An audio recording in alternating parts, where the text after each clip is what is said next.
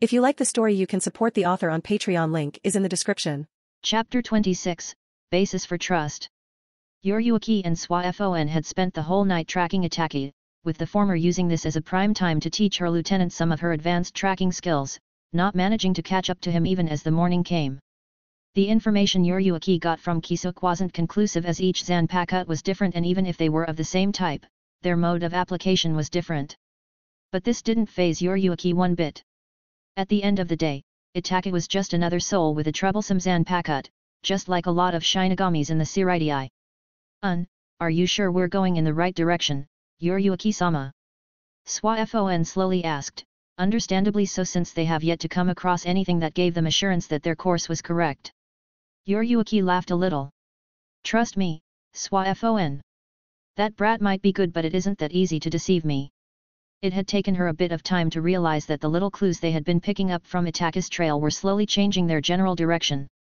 Itachi knew that they were tracing him and so he gave them a trail, one that started leading them astray after they had gotten comfortable tracking it. Let's hurry up a bit, Swa-Fon. I'm sure we'll catch him before the day runs out. She said and pushed ahead. Though she was slightly wound up, Swa-Fon didn't let out any complaints and increased her speed to match Yoruichi's. General POV, with Itachi. He knew the three of them wouldn't last a minute against the Hollow, and not because the Hollow was strong but because of its abilities. Looking at the woman who was finding it harder to breathe with every ticking second made it clear just how potent its paralytic toxins are. He was convinced there was something wrong with this Hollow, but now his priorities were different. He had no bargaining rights if he blatantly opposed the Shinigamis, he was aware of that, so this was something to test the surface of the people he might have to deal with if cooperation fell through. He would have preferred to watch for longer but given how weak these Shinigamis were, he had to tell himself to act. Letting his presence known, the Hollow was the first to notice him and faltered for a brief moment at the arrival of an unaccounted variable a bad move.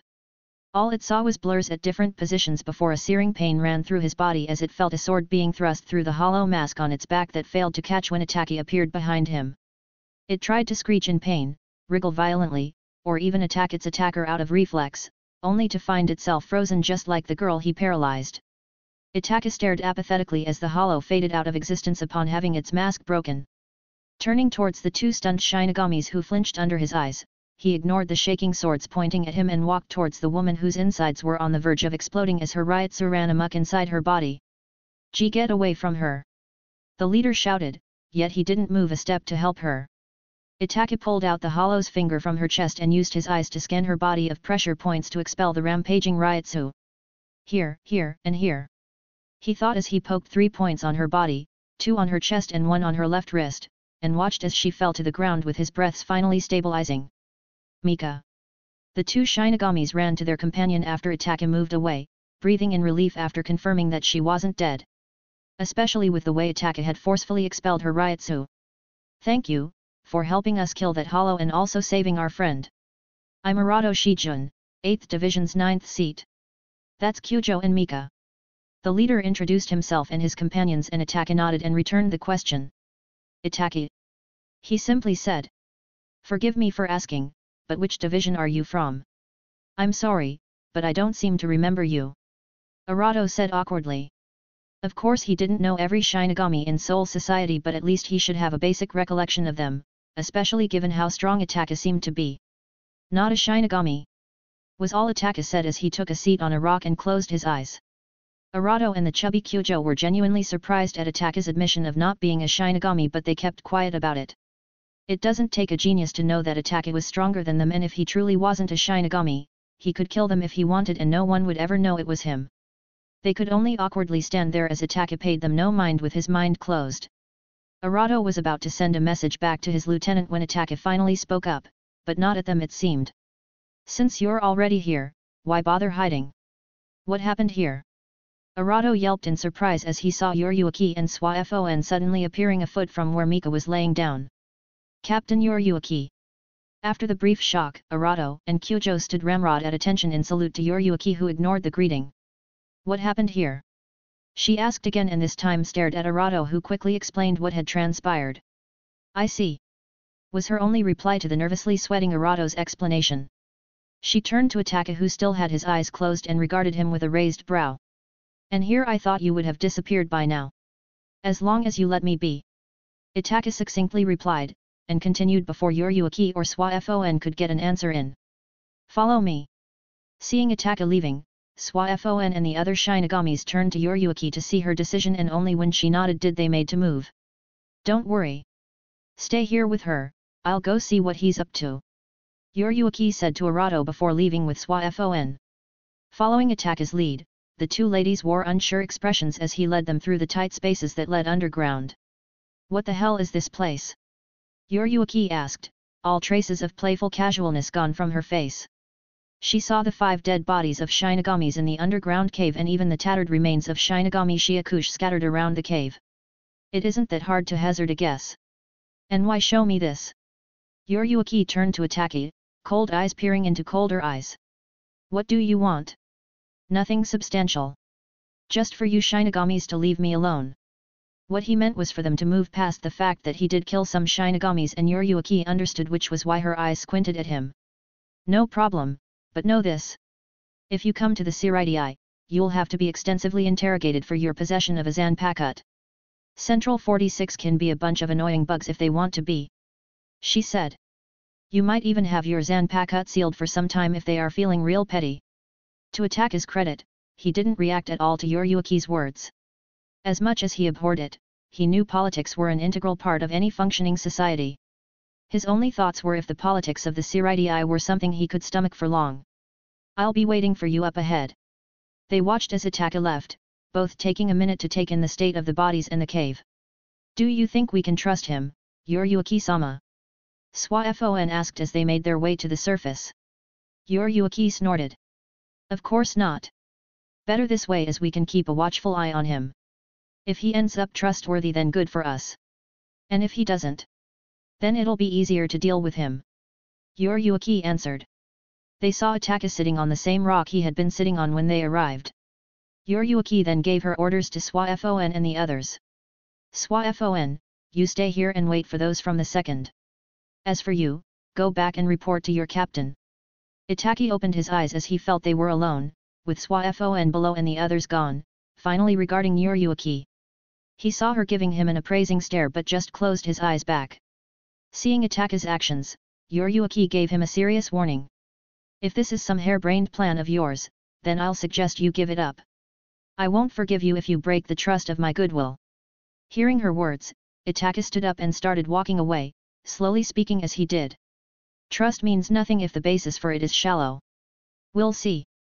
Yoruichi replied, disappearing as she did, and so did Itachi a moment later. Chapter 27, Arriving in the Seireitei. The two of them drew ever so close to the Seireitei and throughout their whole journey, Itachi kept thinking if the choice he made was a good one. Unlike the elemental nations where he had basic knowledge of the state of the military force of each of the hidden villages, he felt truly blind here in the Soul Society so he needed an in. Yes, he long entertained the idea of infiltrating the Soul Society but he had to leave that as a last resort slash desperate move after his two run-ins with the Shinigami captains. He was confident in himself no doubt, but having to face 13 captains who would be roughly on the same level as him were not odds he saw himself winning. As for having his Mangeki, while it might make his chances of a successful infiltration higher, the result would still be the same if he was to be found out. During their journey, he asked Yoruichi a few questions, not pressing ones but still important, and she made sure to give him the barest minimum of any answer she could afford. They knew the type of person the other was and giving Itachi straight answers was the same as giving him an extensive report. Yoruichi knew that. Assassination or military? Yoruichi suddenly asked. I'm asking which were you? She expounded. You don't strike me as the rogue type, definitely not a mercenary, so which were you? Itachi looked at her as they traveled side by side, rogue. Yoruichi chuckled. She could sense a story there but she didn't ask.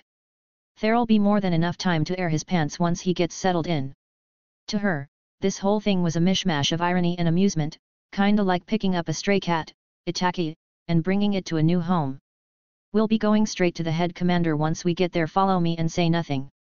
She ordered but then paused and looked at Itachi whose face bore an impassiveness as if he didn't hear her. Or I guess just be you, that also works. She directed a subtle glance at Itachi, hiding the amazement that she was feeling. Throughout their journey, the two of them were playing a subtle game to gauge as much information as they could from the other. The only caveat to this little game was for the other party to know what type of test they were being put through and the nature of the ongoing test to facilitate the degree of the response they were to give.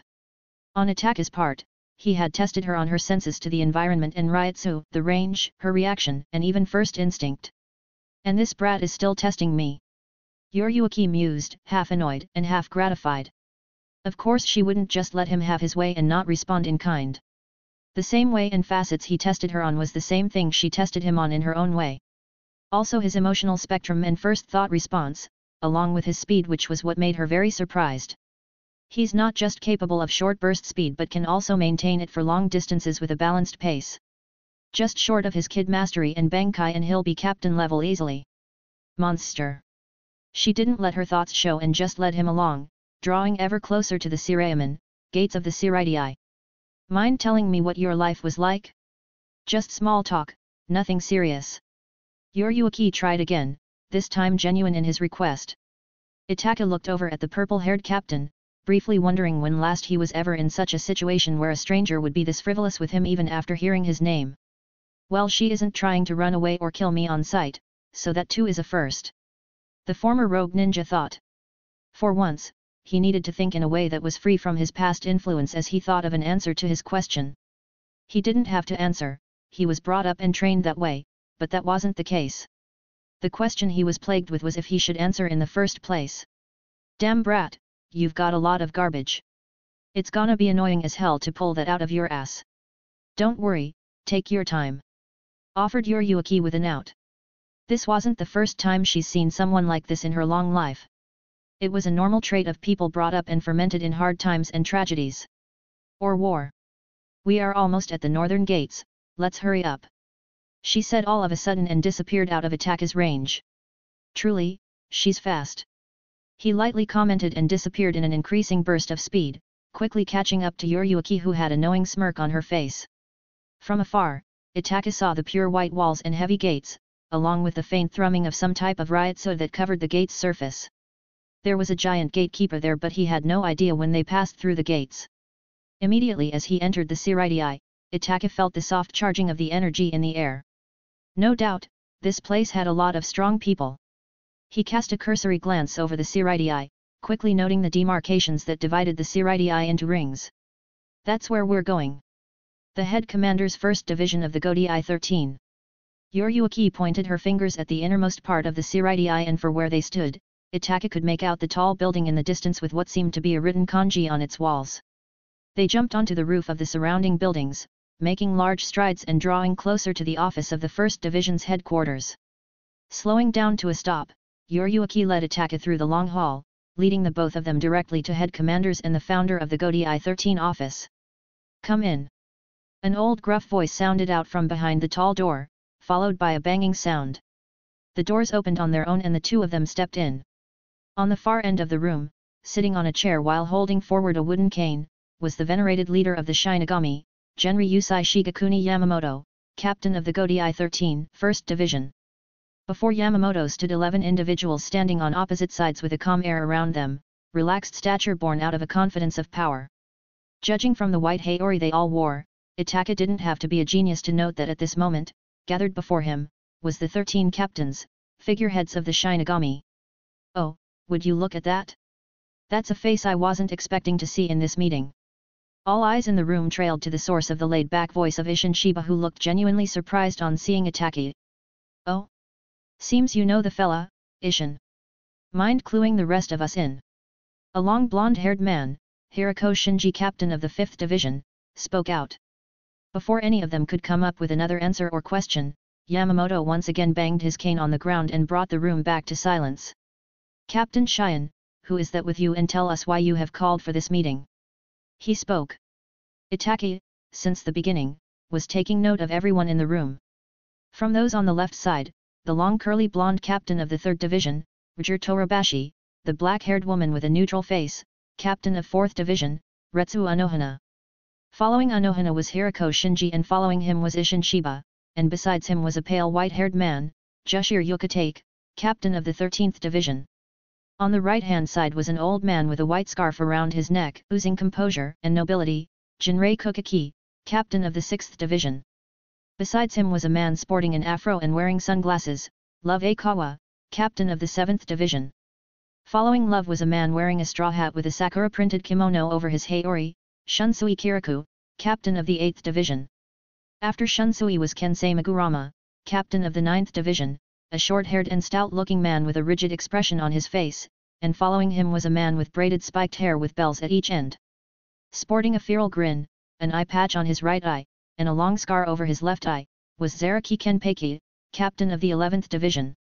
An Itachi immediately saw a splitting image of Kisame in him.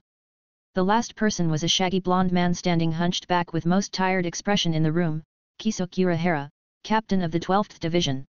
Chapter 28, Itachi's Trial I The feral, unabated bloodthirsty air surrounding the 11th Division captain was something that spurred a mental image of Itachi's former companion during his Akatsuki days, Kisame Hoshigaki. Maybe with a little bit of Hidan too, without his religious fanaticism. Even with all of them having their Reiatsu under perfect control, apart from Zaraki Kenpachi who was having his barely restrained Reiatsu billowing over him, it was easy to tell that each and every single individual here were strong, though a few specific people caught Itachi's attention more than the others. Ah yes, that's why we're here. Yoruichi began, standing in the middle of the two last captains, facing Yamamoto. This is Itachi Uchiha, from North Rukongai 69th District, a recently reincarnated soul barely having spent over a year in the Soul Society. Mind getting on with it? I wasn't dragged here for a report, was I? An irritated Kenpachi interrupted Yoruichi with a frown on his face. Yoruichi paused, gave him a look, and then turned back to Yamamoto. He's the one Captain Shiba encountered during his last mission scouting in the Rukongai. That's him. Hirako Shinji asked, scratching his head confusedly. I heard he killed some of Captain Shiba's squad members. If this is a trial, why not just toss him to Central 46? Yamamoto had his calm eyes trained on both Yoruichi and Itachi, more the latter than the former. Captain Shion, tell us why you brought him here with you. Shunsui Kirikou tilted his straw hat downwards so that it covered his eyes, muttering in realization to himself. Well, here we go. Easy. I brought him here so that the charges against him will be dropped and I plan to bring him into my division. A pin drop silence enveloped the hall as some of the captains were stunned speechless, some held their head down, shaking it in Yoruichi's daring request, while one just grinned. Captain Shion, Yamamoto started, the air of the room suddenly turned stifling. Did you just request that the Seireitei waive off the charges against Urioka for killing fellow Shinigami in order for you to let him into your division? He asked slowly. Despite the pressure that was coming off Yamamoto, Yoruichi stood her ground unfazed, so also did Itachi, something which caught all the captain's attention. Yes, that's basically what I want. In his defense, he was unaware of the situation given how recent he arrived in the Soul Society. Captain Shiba can confirm this. Yoruichi's response resulted in a surprised et, from Ishin who didn't expect him to be called in defense of Itachi. Captain Shiba, is that true? Yamamoto turned to Ishin who was cursing Yoruichi's carefreeness in his head. Seeing all the attention once more focused on him, Ishin looked at Itachi and Yoruichi, somehow taken aback by how calm Itachi was. Something he knew wasn't a mask but was instead the boy's mental state. Cursing himself along Yoruichi, he nodded. I can affirm that what Captain Shion said is true. He answered in support of Itachi. When we first met, he did introduce himself and give a brief summary of his situation but the fight broke out after he refused to sheath his weapon and come with us. Honestly, Itachi was surprised that Ishin would speak in his favor given how he had killed a few of his subordinates. His initial thoughts on the man were not enough to draw a conclusion of his character that Itachi could trust. Not only that, but he's been hunting hollows and bandits during his days in the Soul Society from the reports I had my own people dig up. Not to mention with the latest information I'm sure Captain Kirikou received he also saved three members of his squad from a hollow attack that would have killed them, I verified that myself. Yoruichi shared the information she had on Itachi with the other captains, especially the hiding ground where the dead bodies of five Shinigamis were found. She dug up most of my actions from the 69th district till recent. Itachi thought, surprised that she was able to find out that much given the few people he's had contact with for a year. Even when he entered any settlement or village, the number of contact he had with the people there never exceeded two. That's quite the report, Captain Shion. Yamamoto commented after listening to all that Yoruichi had in defense of Itachi. It wasn't just Yamamoto that was surprised at Yoruichi's change in character from being laid back as she normally was. That's my job, head captain. And I'm good at my job. She smirked. Yamamoto sighed. As true as those words are, there are still a few things left to confirm. You, Itachi Uchiha, mind explaining how you came in possession of a Zanpakuto, and not just that, but also unlocked its Shikai state. Apart from Ishin who had suspected it and Kisuke who was aware of it, Yoruichi had made no mention of Itachi's combat abilities yet so none of the captains thought he had unlocked a Shikai. Regardless of when he unlocked it, the fact that he achieved his Shikai in months of him arriving in the Soul Society made it clear how talented he was. Yoruichi looked wryly at Yamamoto and ended up shrugging. I've done my best, brat. Try not to mess up my hard work, okay?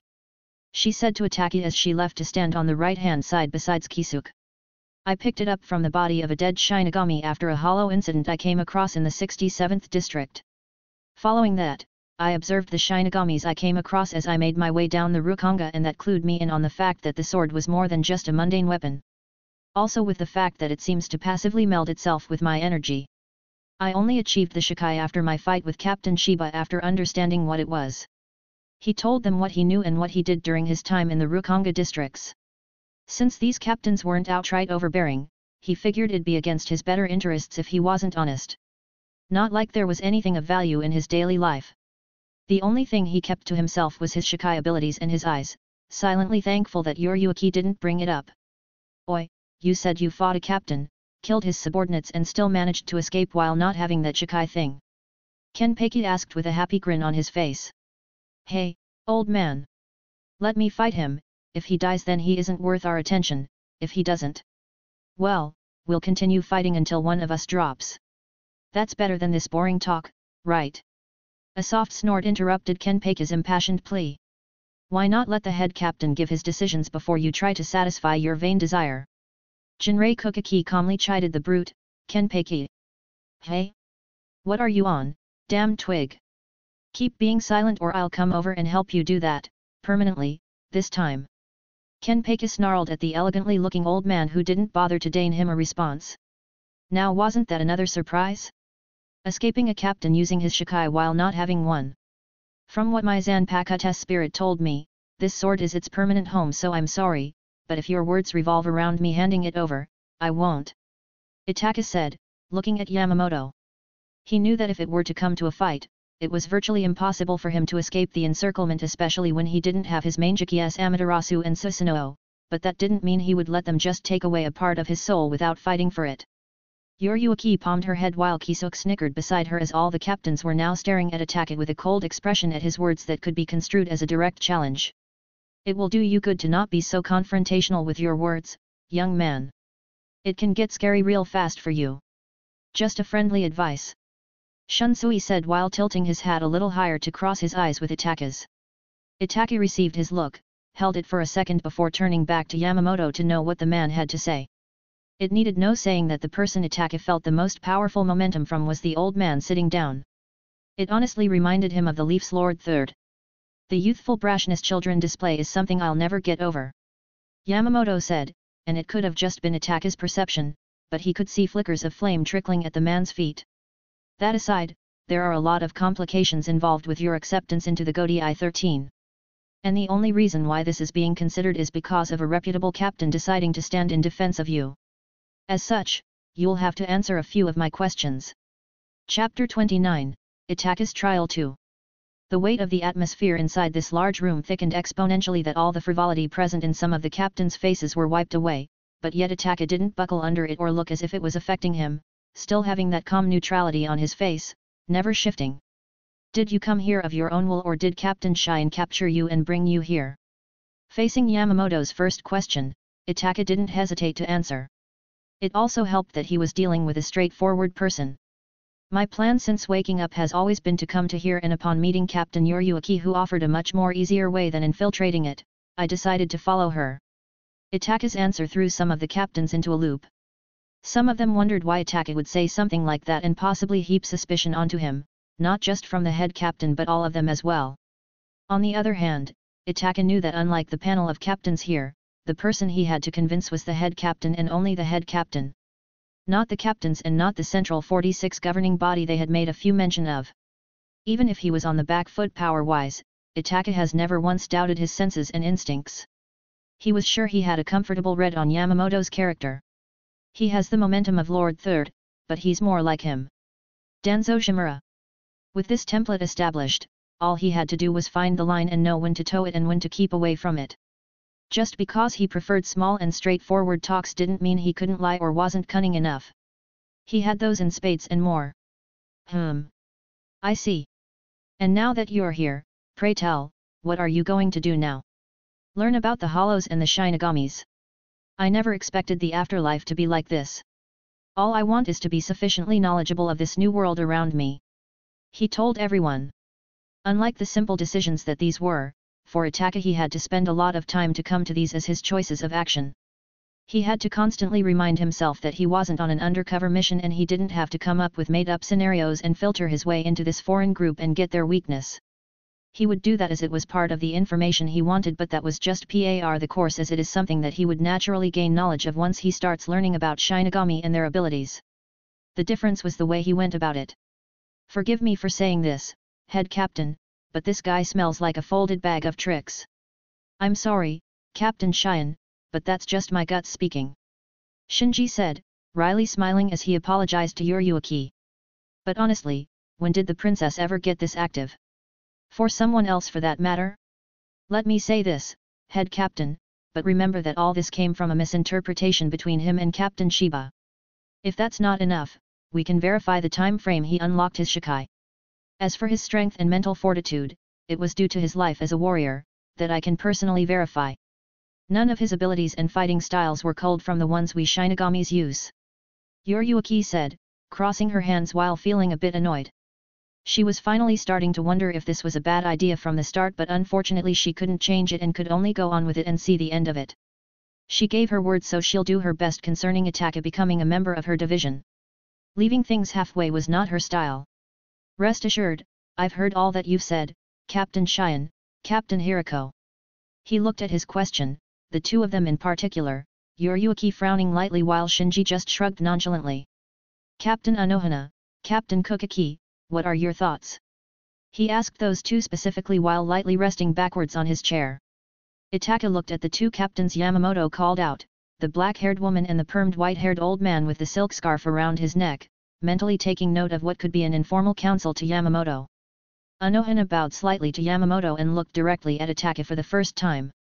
I believe the reports of Captain Chien have substantial weight, more so when in conjunction with Captain Shiba and Captain Urahara confirming most of the technicalities. Since he'll be under Captain Chien's watch, I see no need for heavy stipulations to be placed on him. Hmm, Captain Kuchiki. Yamamoto nodded and turned to the 6th Division captain. It shouldn't be forgotten that he did break a few of the Seireitei's rules and that should come with its equal punishment, even if it was done in ignorance. A precedent should not be encouraged or more would come from it.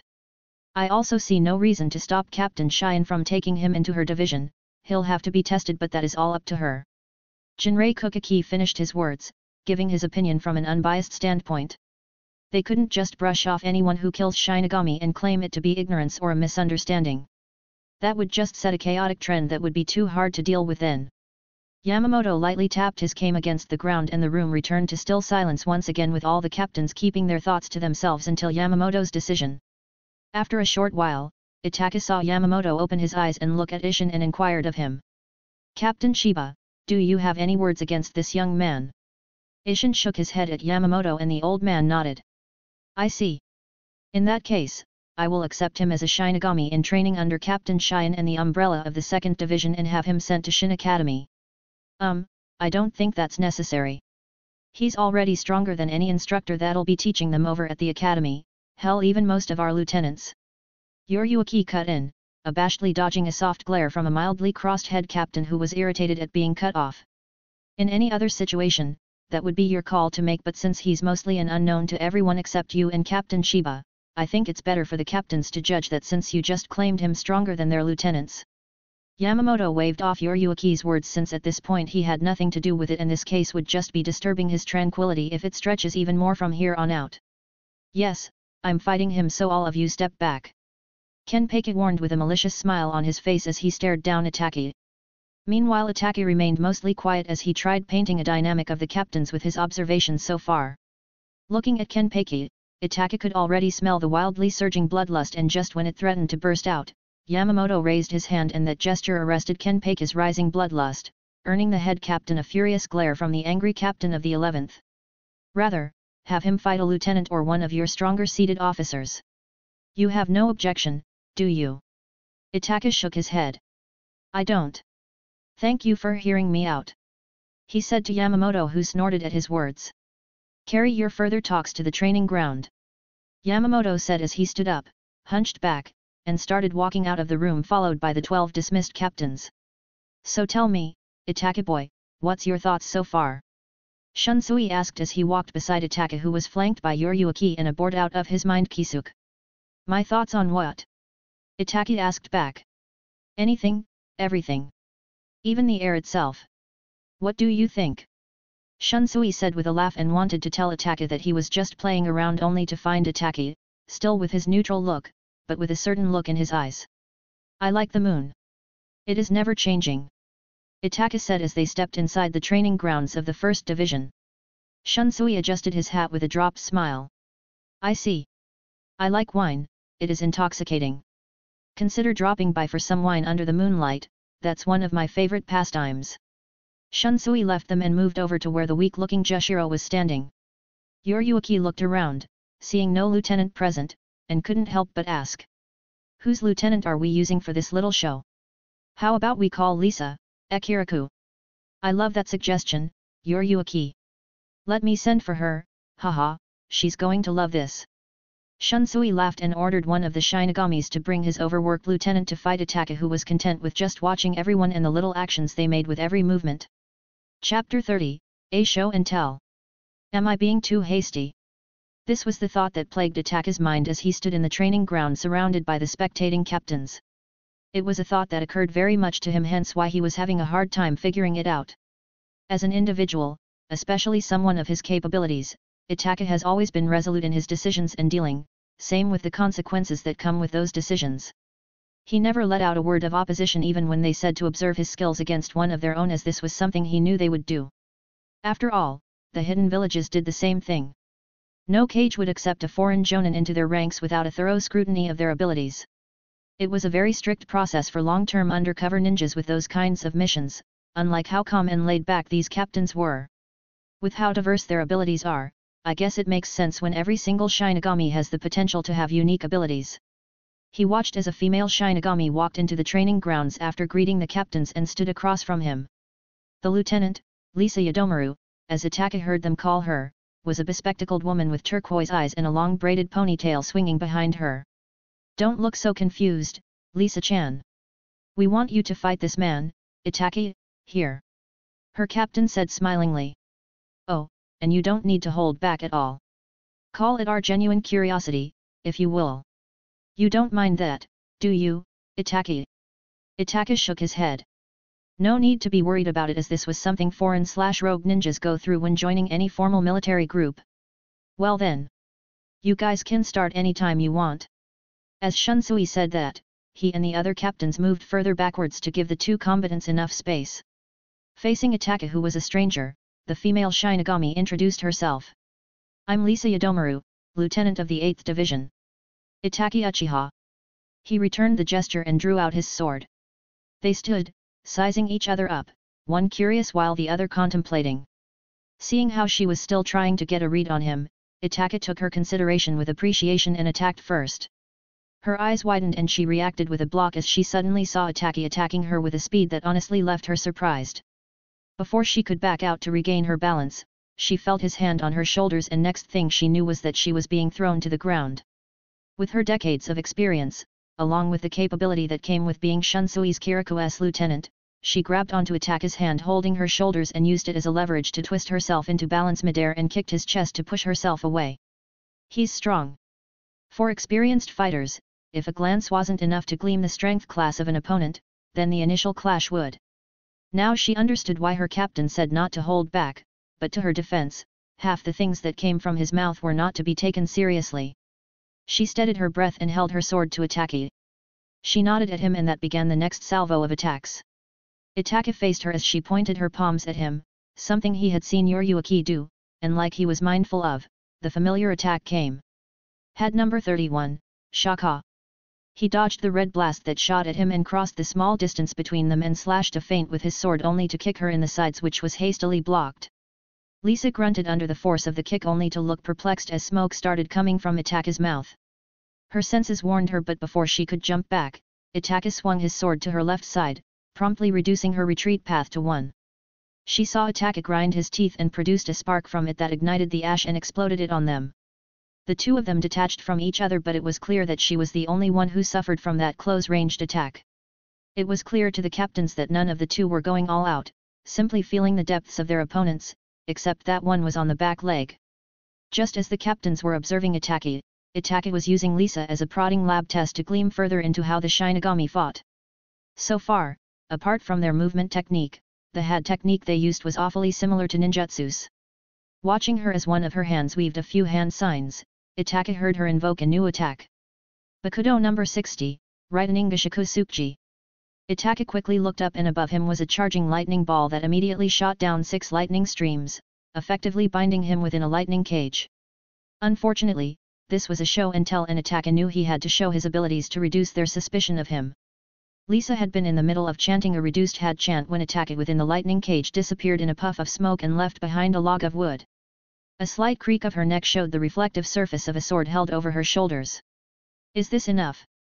Itachi asked, not just to her but also the captains watching. They all held intrigued smiles but none of them said anything to stop the fight.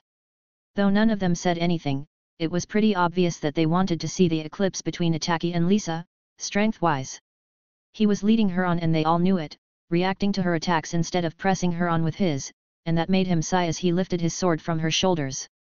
Lisa put a distance between them, an utmost serious look cast on her face, slamming her sword into its sheath and holding it over her head. She slowly pulled it out, intoning as she did so. Subas, smash, Haguro Tonbo. Her Reiatsu burst out in a turbulent wave and her sword underwent a transformation. From the normal sleek katana she once held, now held with both hands was a long polearm with a monk's spade blade on one end and a ball on the other. Instead of treating this as a spar of equals, Lisa looked at the fight between them as a no-holds-barred duel after truly understanding why her captain said to fight with all she had. Anything short of that would ensure her loss. Whether he needed to or not, Itachi responded in kind by holding his sword in a slanting angle and activating his Shikai. Terrace, Tsukuyomi, Illuminate, Tsukuyomi. Honestly speaking, Itachi's Shikai wasn't all that impressive if one had a subliminal control over their Reiatsu, but that didn't mean it was useless in most cases. Unlike with Lisa's Shikai release, Itachi's blade didn't have any visible changes on it which confused the spectating captains and his opponent. If not for the burst in his Reiatsu, they would have thought he just said those words, well all of them except for Yoruichi who had an inkling on what Itachi did. It was all a leading play. Lisa pushed on her attack and thrust her polearm at Itachi who narrowly dodged it. Upon seeing the slight opening, she twisted her left arm and the polearm wobbled and changed direction towards Itachi who faltered behind. The polearm speared towards Itachi's legs and Itachi used his sword to stab the ground, effectively blocking the polearm, all his actions being seen through by Lisa's calculating gaze. Slightly drawing her polearm back, she twisted it and sent it ball end towards Itachi who was still kneeling from the force of her thrust but as soon as the pole arm's end reached near him, Lisa's cold gaze faltered as another Itachi jumped over the kneeling one's shoulder and parried the polearm with his sword, leaving her open for the one still kneeling, while no longer kneeling as he drove a knee into her exposed abdomen that sent her flying backwards like a shooting star only for her to crash into something and feel someone holding her in a chokehold. A third Itachi. She trembled as she saw the two Itachis in front of her weave some hand signs and bring their hands towards their mouth which only opened to spout out two huge balls of fire that joined together into one and blazed towards her. Lisa Chan. What are you doing? She jumped back in shock and frantically looked around her, not seeing the giant fireball or the person holding her, or even a second Itachi. Why are you just standing there Lisa Chan? She turned towards her slightly frowning captain.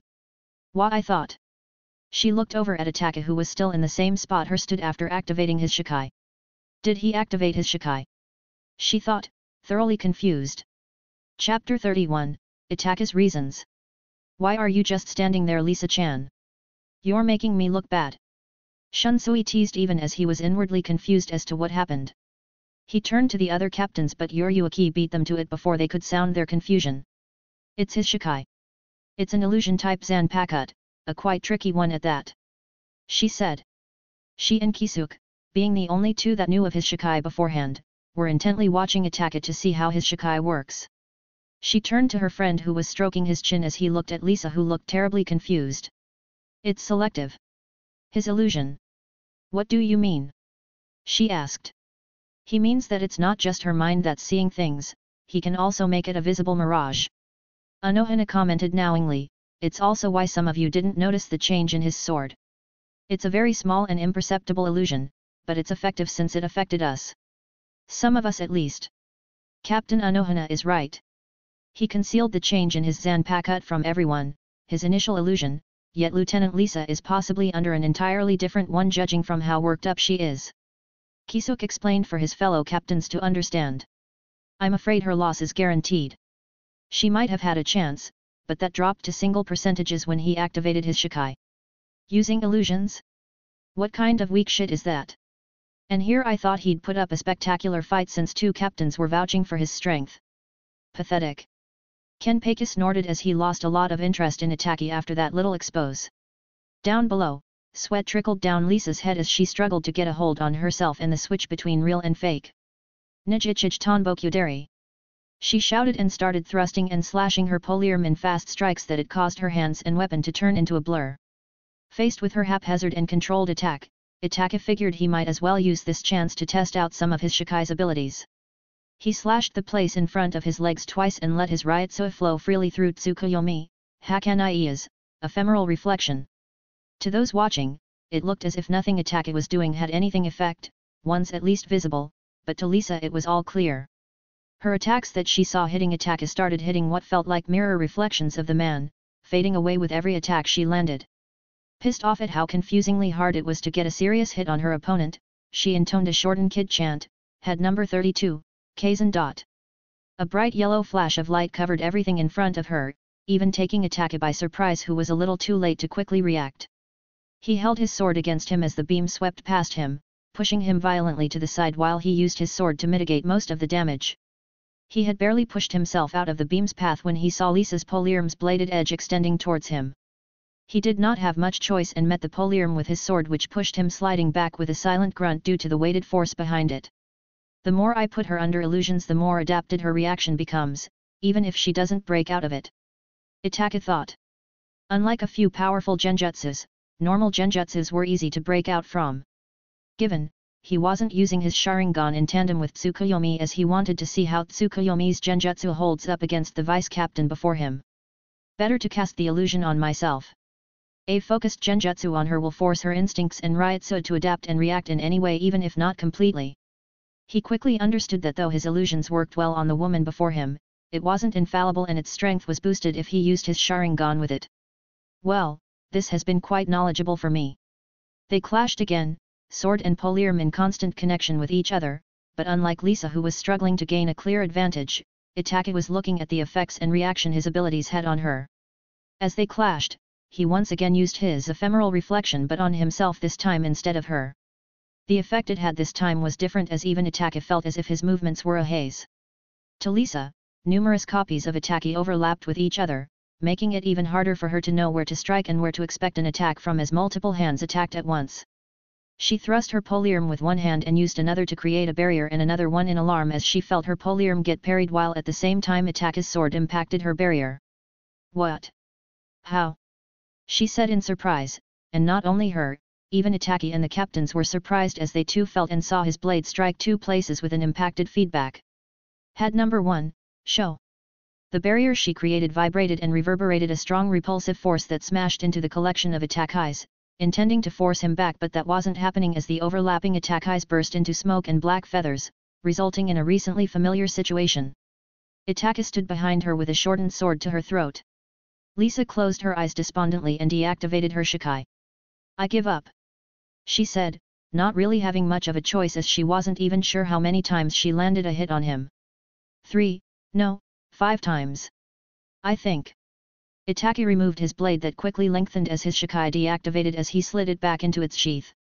The fight was interesting to say the least and not just to him, but also the spectators watching. Well, Captain Shiba and Captain Yoruichi weren't kidding. He's strong. Not exactly a power type Zanpakuto but it seems to fit him somehow. Jushiro Ukitake commented loudly, earning nods from some of the captains. He and the others turned to Yamamoto who just stood off to the side watching the whole fight in silence. He made a deep rumbling hum as he turned around, walking back to his office. Captain Shihoin, his duties are under your discretion. Humph. You still owe me a fight brat. Don't forget that. Kenpachi declared before leaving the remaining captains there and going back to his division's barrack. One by one the captains left, leaving only Yoruichi, Kisuke, and Shunsui alone with Itachi and Lisa. Don't feel down, Lisa-chan, you did well. As well as you could anyway. The kimono-wearing captain laughed at the glare the upset lieutenant sent him. I'll be going now. She gave a lazy salute and disappeared from the training grounds, causing Shunsui to follow after her with a stream of laughing apologies. Hello there, young man. I'm Kisuke Urahara, captain of the 12th Division. Yoruichi told me you have some questions you might need answers for, so you can visit me when you have time as I'd like to have some talks with you. See you later, and I'll drop by the second later tonight, Yoruichi. Kisuke lazily waved at them and wobbled as he walked out, looking like he might tumble with every step he took. It turns out his sleepy look wasn't just a look after all. Well, come on. I'll show you to the 2nd Division's barrack, where you'll be staying until further notice. She said and led him out as they slowly walked down the streets of the Gotei 13. So how is it? Still feeling lost yet? Lost. Itachi looked at her confusedly which brought her to a chuckling fit. Even though I look like this, I'm over a century old and that look on your face is something I've seen on a few faces. My guess is war, am I right? She said with an expressionless smile.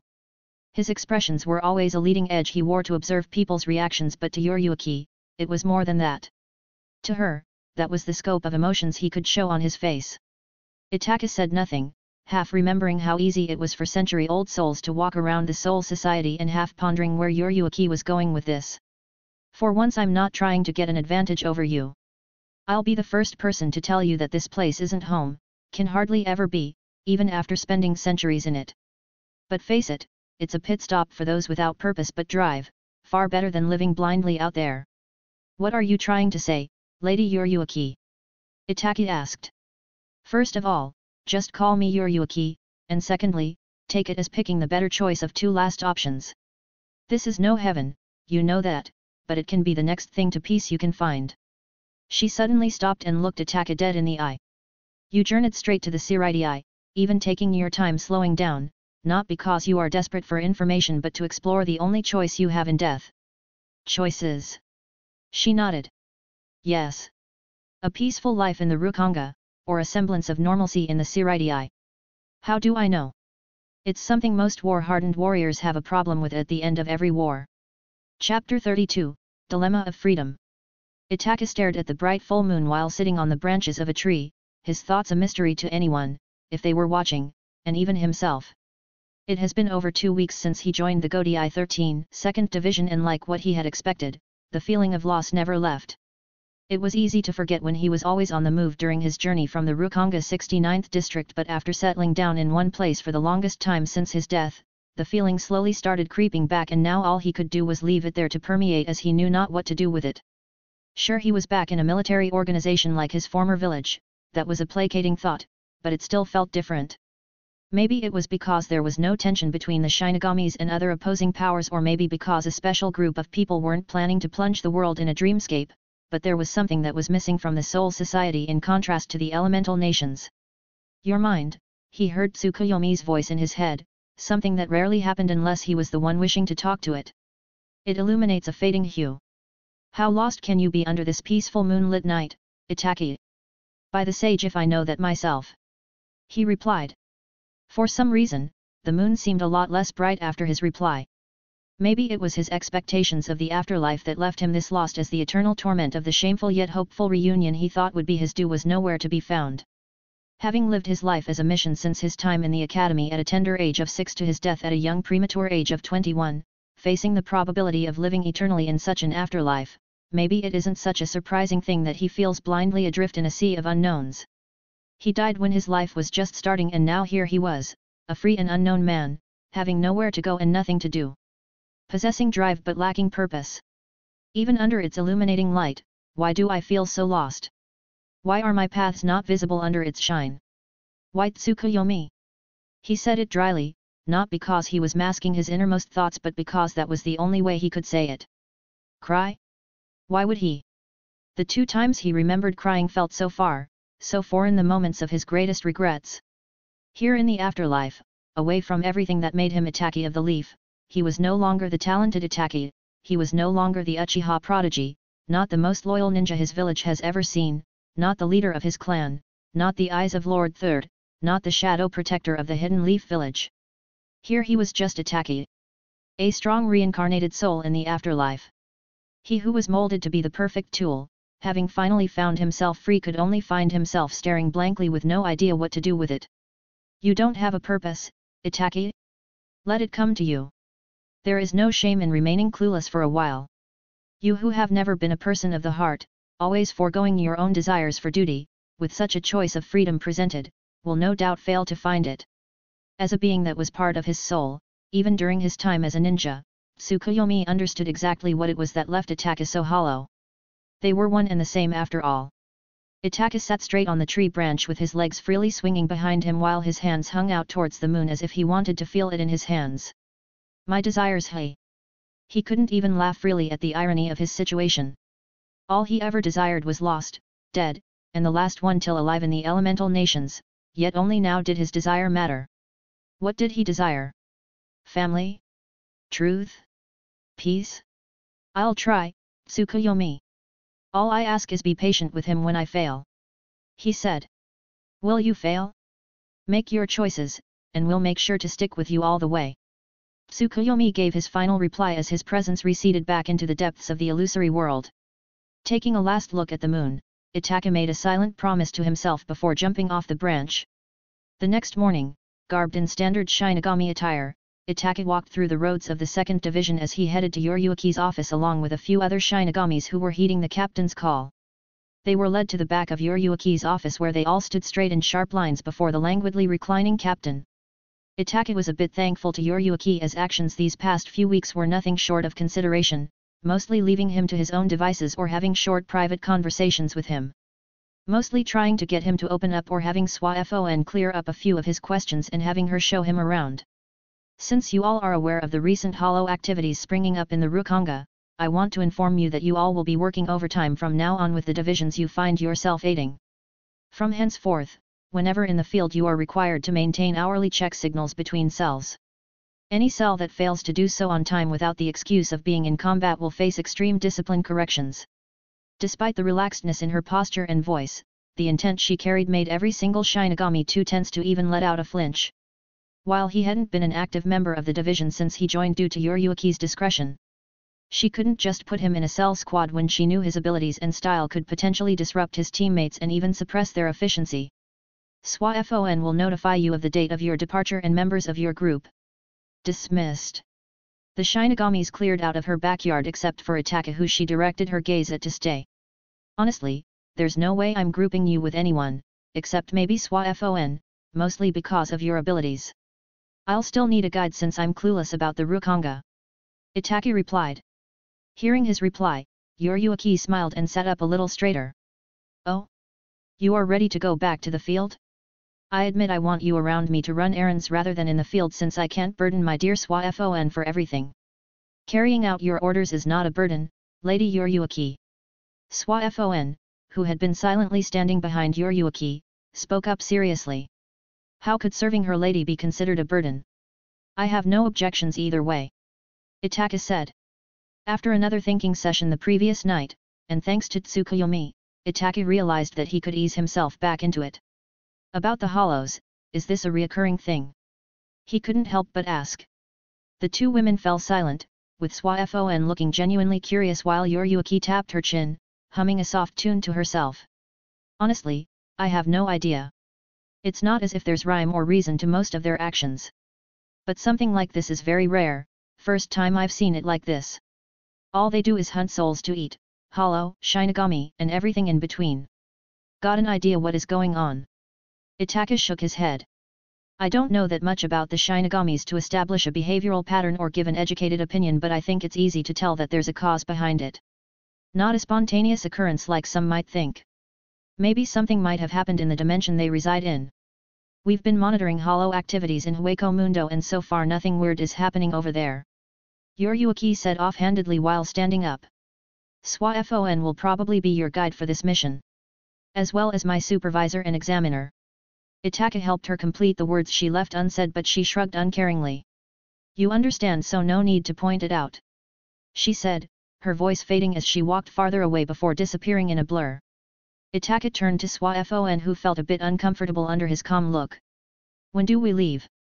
She let out an awkward cough and replied a little anxiously than she would have liked if she had paid a little attention to how she acted when he spoke. Yes, um, I'd rather we leave today. It's mostly investigations we'll be carrying out so we are likely to spend up to a week on the field. Itachi nodded and turned around to leave, giving his remark as he faded away. Let me know when you're ready. Seeing how he left, SWA-FON looked disgruntled, not understanding why her Yoruichi-sama would want to put up with someone like Itachi whose eyes looked like he didn't put anyone in them. Oh right. She went after him because of me.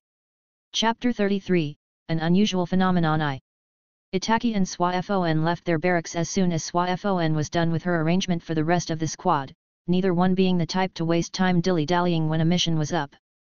With SWA-FON leading the way with her expert mastery in Shunpo, Itachi silently followed beside her having no problems keeping up with her, much to her consternation. Despite all that had happened, SWA-FON never outright said it, but Itachi's presence rattled her a great deal despite how much she tried to hide it.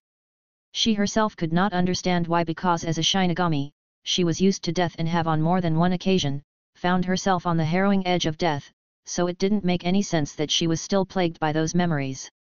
The Hollows. How easy is it for them to get into the Soul Society? Itachi asked. The expression on her face was cold and calm, not letting stray thoughts influence her actions when on a mission.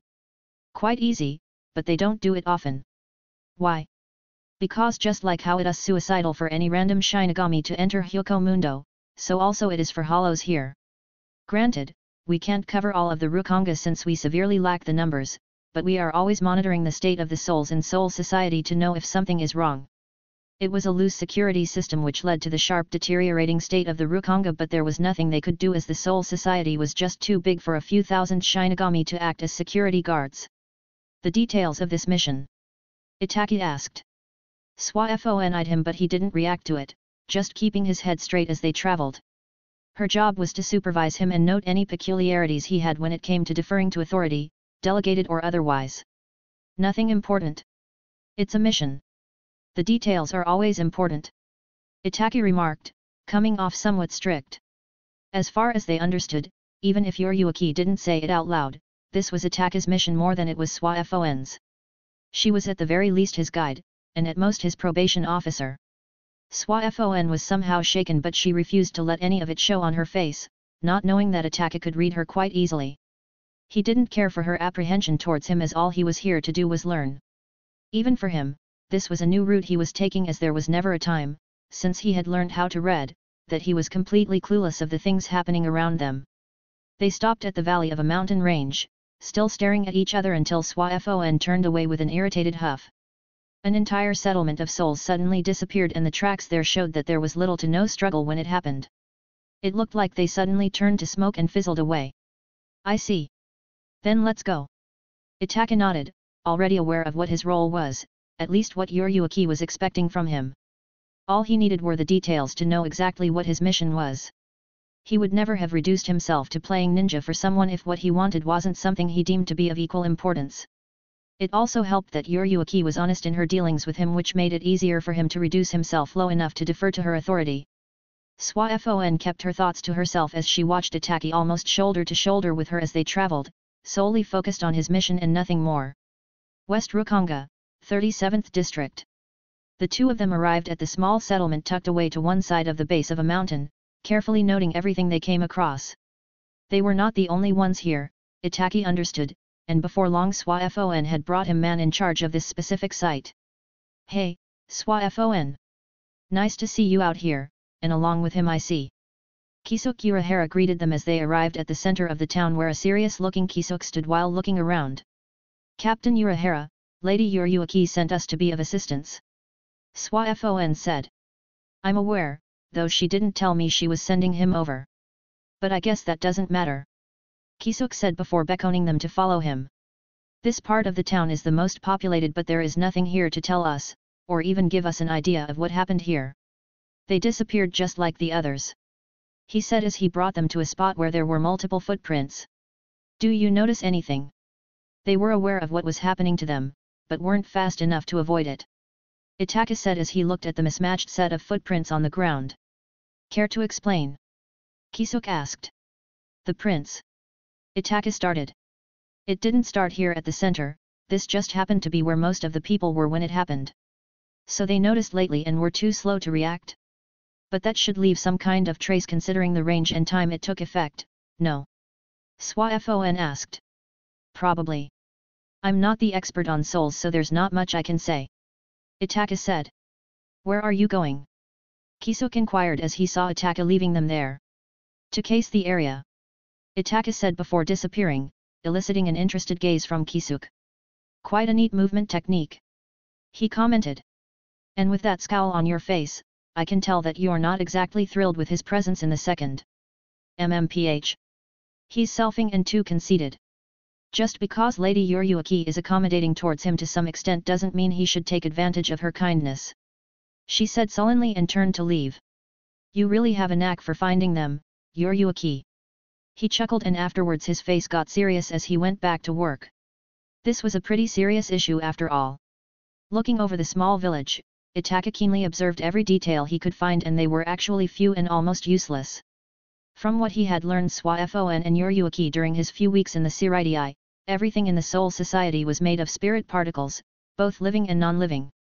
Given that these were energy particles, it only made sense that Itachi was able to see them with his Sharingan.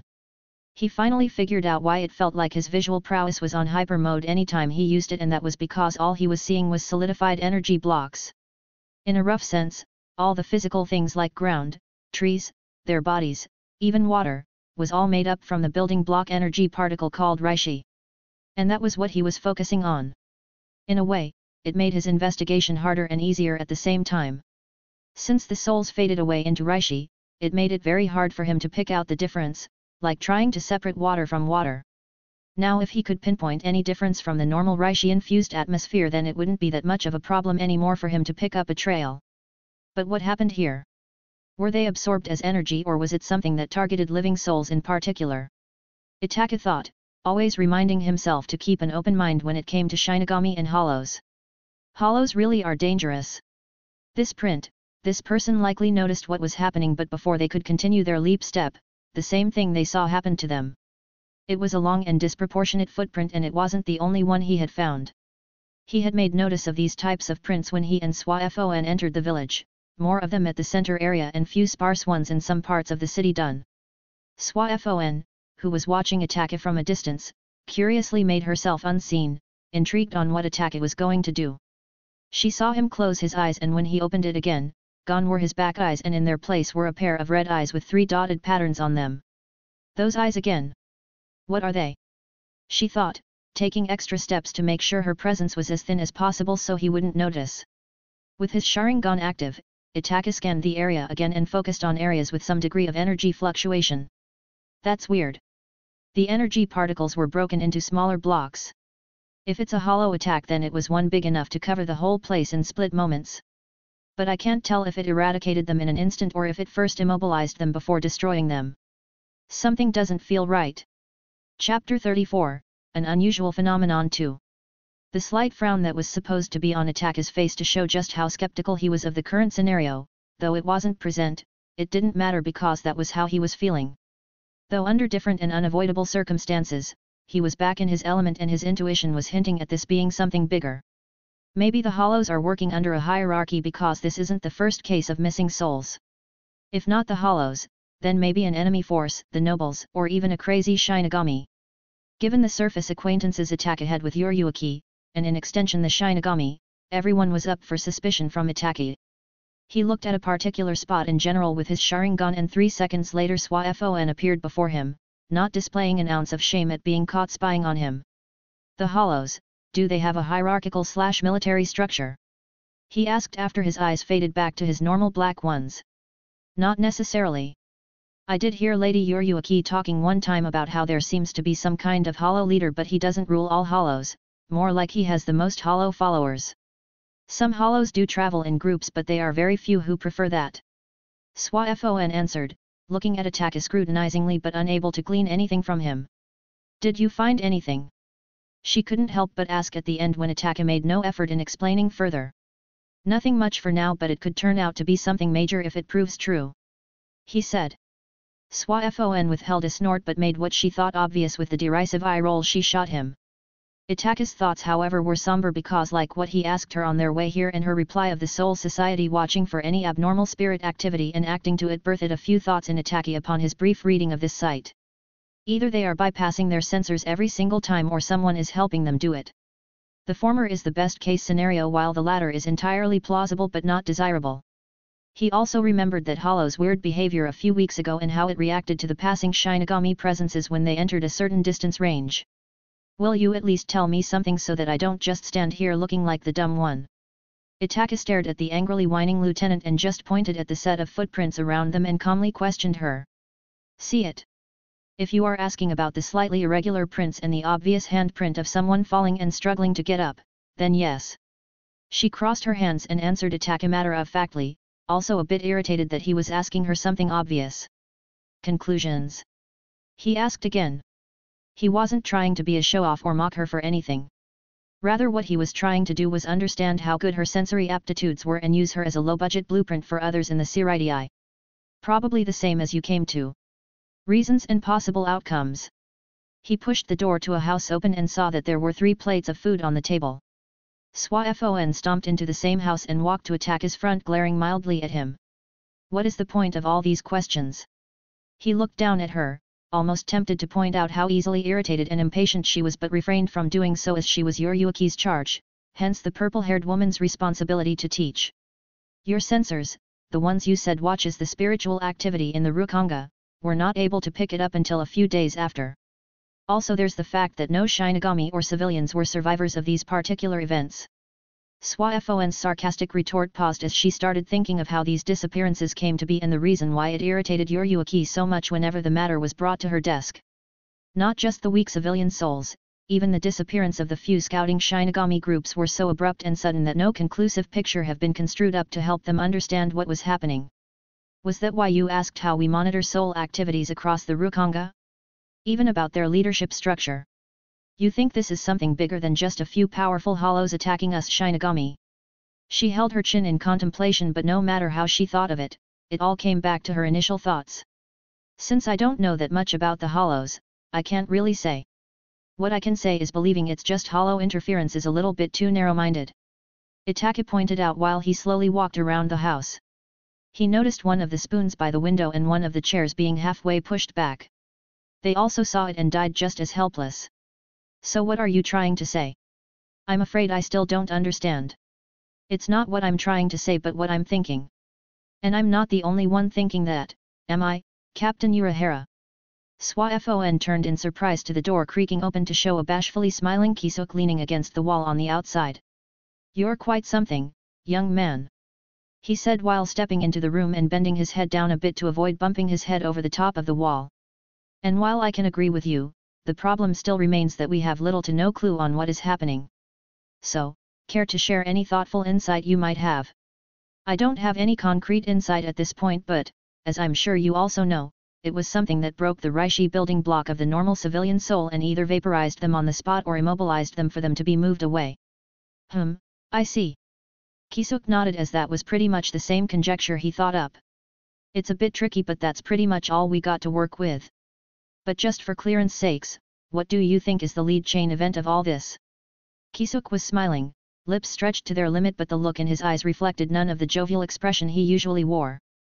Itachi bent down and picked up the fallen spoon and set it on the table and also arranged the chairs just for the sake of it. It's either one of a few things, or even all of them. A very specialized hollow, strong individuals from the Rukongai or one from the Seireitei working with a hollow. Wa double exclamation mark. How can you say something like that? Soi Fon chided a bit tamely. It's not as if it wasn't something that couldn't happen.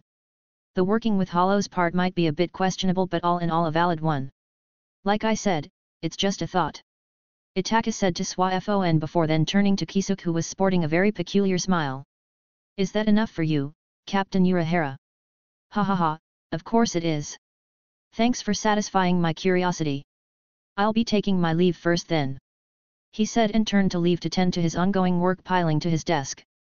The remaining two of them didn't remain idle and left too, Soi Fon trailing Itachi this time as this was her mission observing Itachi. With his Sharingan active, Itachi surveyed the area of the village and the surroundings but ended up with nothing. There's very little for us to do here. Is this the only place we have to be at? Itachi asked after hours of searching and coming up with nothing, even with his Sharingan. It is, but there's a few places we could case if you're up for it. I'll have to notify HQ about this little change and get confirmation before we think of leaving. SOI FON radioed back to the 2nd Division and upon receiving Yoruichi's direct permission, she and Itachi left Kisuke and made their way towards the closest stealth corps group. How many of these disappearances happened in the last few weeks? So far?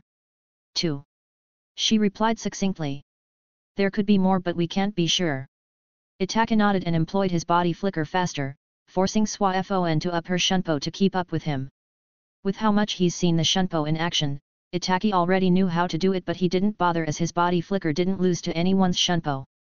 It also felt more seamless to do than the Shunpo. Looks like I'll be focusing on the hollows and any other powered species out there that the Seireitei has records of. If even the captains are lost on this then there is the possibility of something more happening in a background that no one is aware of. He wasn't regretting his choice, he wouldn't, and the feeling of going back on a mission wasn't one he enjoyed nowadays, at all, but there was little he could actually do. Chapter 35, An Unusual Phenomenon 3 Soi Fon didn't lie when she said it would take a while before they got there, and neither did Yoruichi when she said the mission might take a few days because that was what it took. Since there were a few reports of hollows out there and with some teams killing while the others investigated, Itachi would spend a few seconds to a minute watching the group of Shinigami battling the hollows before he would leave. It wasn't like he was fascinated with the hollows, no. To him it was nothing more than a passing interest that he knew would wane fast once he started learning about them. It was an opportunity to learn something new and Itachi had always been a curious one since his childhood days. For the few days they spent traveling together, Soi Fon was gradually becoming less spooked by Itachi and his mannerisms. There were soft trembles here and there, and the occasional gasping out of a nap, but she was getting her shit together and she was happy for it. Did Lady Yoruichi send us together because she knew this would happen? She's just too kind. Lady Yoruichi. On Itachi's side of the coin, he already knew what was up with her after watching her for a few days after his admission into the second division. He didn't do anything or say anything concerning that as it was something he knew she would grow out of it. And that was what she was doing, albeit slowly. When they finally arrived at their destination, Itachi saw that it was an old Shinigami outpost which was still in use by present Shinigami as somewhere to lay off during missions. It didn't take Itachi long to notice that something was wrong with this place when compared to the other location they had been to. What did you find? She tensed when she saw Itachi's expression go taut after he made a circle over the outpost. Did something happen here? Knowing that his eyes were somehow special and he could see the lingering trace of Reishi particles in Reiatsu, she expected him to say something that should have been hard to believe but instead his words were the direct opposite. Nothing. There's nothing here. Absolutely nothing. He said. His eyes took in every single thing in its range of vision with keen cognizance, missing nothing in its focus. And yet he could find nothing. Itachi, what do you mean nothing? Would you look that serious if it was nothing? She was puzzled. Was the nothing he said a context of something she was failing to understand? The Shihakusho lying around are the only signs they were ever here. Everything else says otherwise. He stated. Soi Fon shook her head slowly, still not understanding what he meant but let him continue with what he was doing as his help was the only thing to a clue they had. Itachi stood in the middle of the output, frowning at how peaceful the Reishi atmosphere was. Unlike water mixing with water, like the other one did, this one either spat it out or completely deleted it.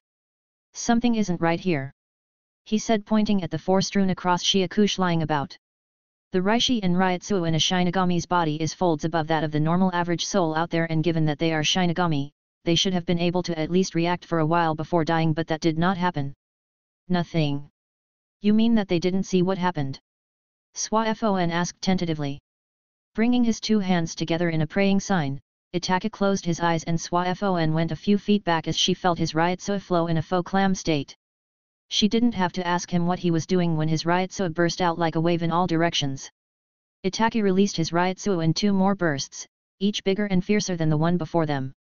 What the hell is he doing now? She would have berated him for what he was currently doing had this been the first week she knew of him, but Itachi wasn't careless. That much she had grudgingly come to accept in such little time she's known him. Itachi released his hands, his eyes still a gleaming red as they looked at the charged air of Reiatsu and turbulent Reishi. Why were you doing that? Soi-Fon asked.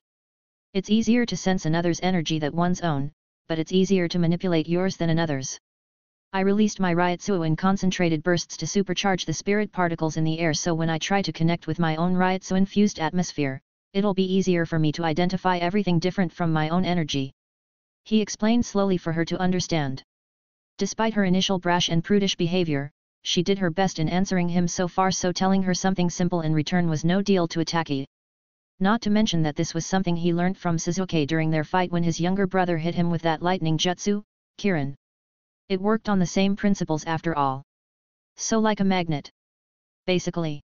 Once again Itachi observed the Reishi particles and Reiatsu in the air but no matter what he did or how he tried, the results were the same. This is unsettling. He muttered to himself. The unknown was always a danger to everyone and this was something that could kill a Shinigami without them or anyone knowing was more than unsettling. How many groups ran investigation on West Rukongai from District 37th? He suddenly asked. Why do you want to know? Soi-Fon asked back. It didn't need to be said that the mission details of other teams aort from one's own was classified information, especially an investigation mission like this one. This is the North Rukongai 24th District. Do you understand now? His voice was calm and low as he spoke, hardly ever in a hurry. Hey? What does that HAV wait? If this is the same hollow then it's traveling districts, back and forth and Soi-Fon eyes widened, turning to Itachi and staring at him in shock. This was frightening to say the least. It's clearly getting stronger and the scene on West Rukongai could be considered messy work when compared to this.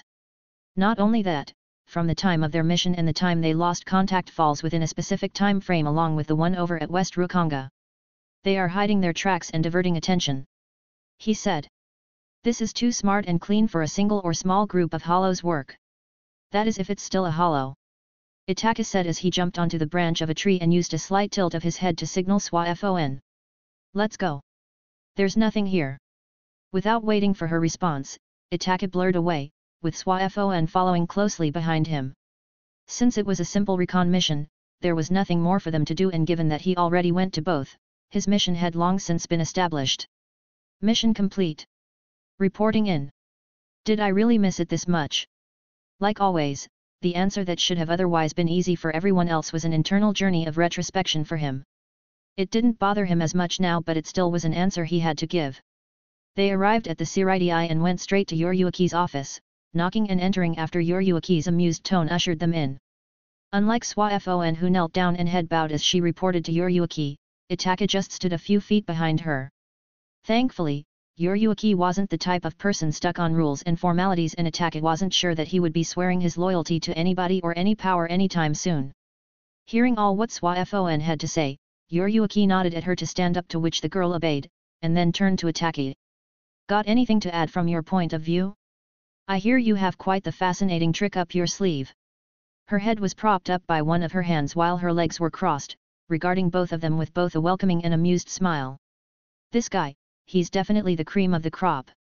And to think he was just 21 when he died. I have nothing much to say. Though I doubt the hollows are the only thing you have to worry about. Yoruichi nodded, understanding his warning of caution. I understand. I think I'll have a talk with Ishin and old man Kuchiki after this. Why don't you guys go back and rest while I go talk with the captains? We'll have our work cut out when I'm back. Yes, Lady Yoruichi. MMN. With the conclusion of those words, Itachi left the two women and made way to his abode. Instead of sleeping, he propped down in a cross-legged meditation pose and pushed his consciousness back into his mindscape. Chapter 36, Basis for Trust 2 Sparks flew across the small courtyard as Itachi and Soi-Fon clashed blades in the former's courtyard. Soi-Fon's face was matted with sweat as she struggled to predict Itachi's movements. He wasn't using his illusion and even without it, she had to put her all into her senses so as to quickly pick up on his movements and have enough of a split moment to react before he started another one. Conclusion, he was a very skilled fighter. He didn't emanate power or any overwhelming presence, even though he had those in respectable spades, he relied more on subtle skills than pure power. Parrying her blade, he tripped her balance with his legs before throwing her over. I told you that you could use your Shikai. Soi-Fon frowned and looked at her blade but shook her head. Suzumebachi isn't exactly spar-friendly. How so? It works on two hits, right? Soi-Fon's facial muscles twitched violently at Itachi's statement. What exactly are you trying to say? That I can't land two hits on you. I'm not saying you can't hit me twice, Itachi stated calmly, it'll be hard for you to hit me in the same place twice. She wanted nothing more at this moment than to call on Itachi's bullshit but she couldn't as even painting a mental image of stinging him in the same place twice was hard for her. She could only admit to Itachi's genius and strength and Yoruichi's suggestion against Itachi attending the Shin Academy with how fast he was picking up kid. At least he isn't like that bum of a Captain Urahara. She thought, taking an uncomfortable comfort in the choice between two lesser evils. While she didn't like Itachi and his self-centered attitude, especially in the presence of Lady Yoruichi, she couldn't deny that he was a capable fighter. Are we continuing, or are we done for the day? Itachi asked. Oh, um, do you have anything planned out for the day? She asked a little hesitantly. Apart from Lady Yoruichi who was hardly ever free, Itachi was the only one in the second division that she could safely practice against. Not necessarily. He said, I was thinking of doing a little research and maybe visiting the 8th. Captain Kyoraku. Yes. He keeps reminding me to visit any time we come across each other. The captain was clearly an eccentric one and Itachi had little to no success when dealing with those types. His relationship with Kisame was a prime example of that. Well then, come on. Itachi beckoned her with his sword. They clashed again and a light show of sparks blossomed in the small courtyard. Even among ninjas he knew, someone of Soi-Fon's caliber was ranked at higher levels. Most jonins would have trouble keeping up with her speed and lethal strikes, especially how her fighting style was centered with her Zanpakuto in mind. Her Shikai, Suzumebachi, was fashioned like a gold and black stinger covering her entire middle finger and wrist. Like it epithet of a stinging butterfly, its abilities granted Soi-Fon to instantly kill any opponent that she stabs twice on the same spot with the stinger. This caused her entire fighting style to be focused on giving the maximum lethality damage she could deal with every single one of her strikes. Itachi used the hilt of his sword to stop a low cut from Soi-Fon, much to her surprise as his hands were just centimeters away from where her blade impacted the hilt. Unfortunately for her, not that she was ever told, but Itachi was someone who also preferred the one-hit kill tactic. She withdrew her sword, half expecting Itachi to do the same, but he surprised her again when he simply twisted his wrist and brought his blade down on her, forcing her to hastily block amidst her retreat. Showing her off again in a display of superior experience, Soi-Fon let out a confused exclamation as her blade simply pushed his blade back into the side with practically no resistance, prompting her to stumble forward and her already shaken balance further deteriorated. She could only sigh irritably as she felt Itachi's blade on her back. He didn't have to point out her little mistake as she was fully aware of it. She didn't need him to teach her fighting styles or correct her flaws, she could do that on her own against an equally strong slash stronger opponent which she had in him. They were both experienced warriors after all. She picked herself up once more and they clashed again. The First Division In the meeting hall of the captains, Yamamoto and three other captains were having a discussion about the bizarre and worrying event that had happened in the Rukongai. This is different. Shinigami dying to hollows is a normal fact that even ignorant souls in the academy are aware of. But that's not what this looks like. The one who spoke was Kisuke, a rather serious frown on his face different from the normal bored and jovial expression his facials expressed. With him were Yoruichi and Kyoraku, and just like him both bore taut expressions on their faces as they went over the data both the research division of the 12th and the stealth corps of the 2nd brought back. Those Shinigami who disappeared didn't put up any kind of fight, or perhaps had no idea that there was need for one. It simply attacked the Reishi construct of their soul bodies and from there nothing else. Yoruichi stated. Kyoraku scratched his side beards and adjusted his straw hat to the periphery of his eyes. Reishi? I hope you're not insinuating what it is I'm thinking. This time it was Kisuke who shook his head.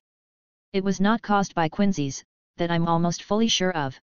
If it were them, they would have left a Reishi-charged atmosphere to trace it back to them but this wasn't it. Kyoraku sighed, looking distressed. Though it wasn't clear what was causing his distress. It could be a myriad of things or little to nothing, who knew? What are your thoughts based on what you've found out?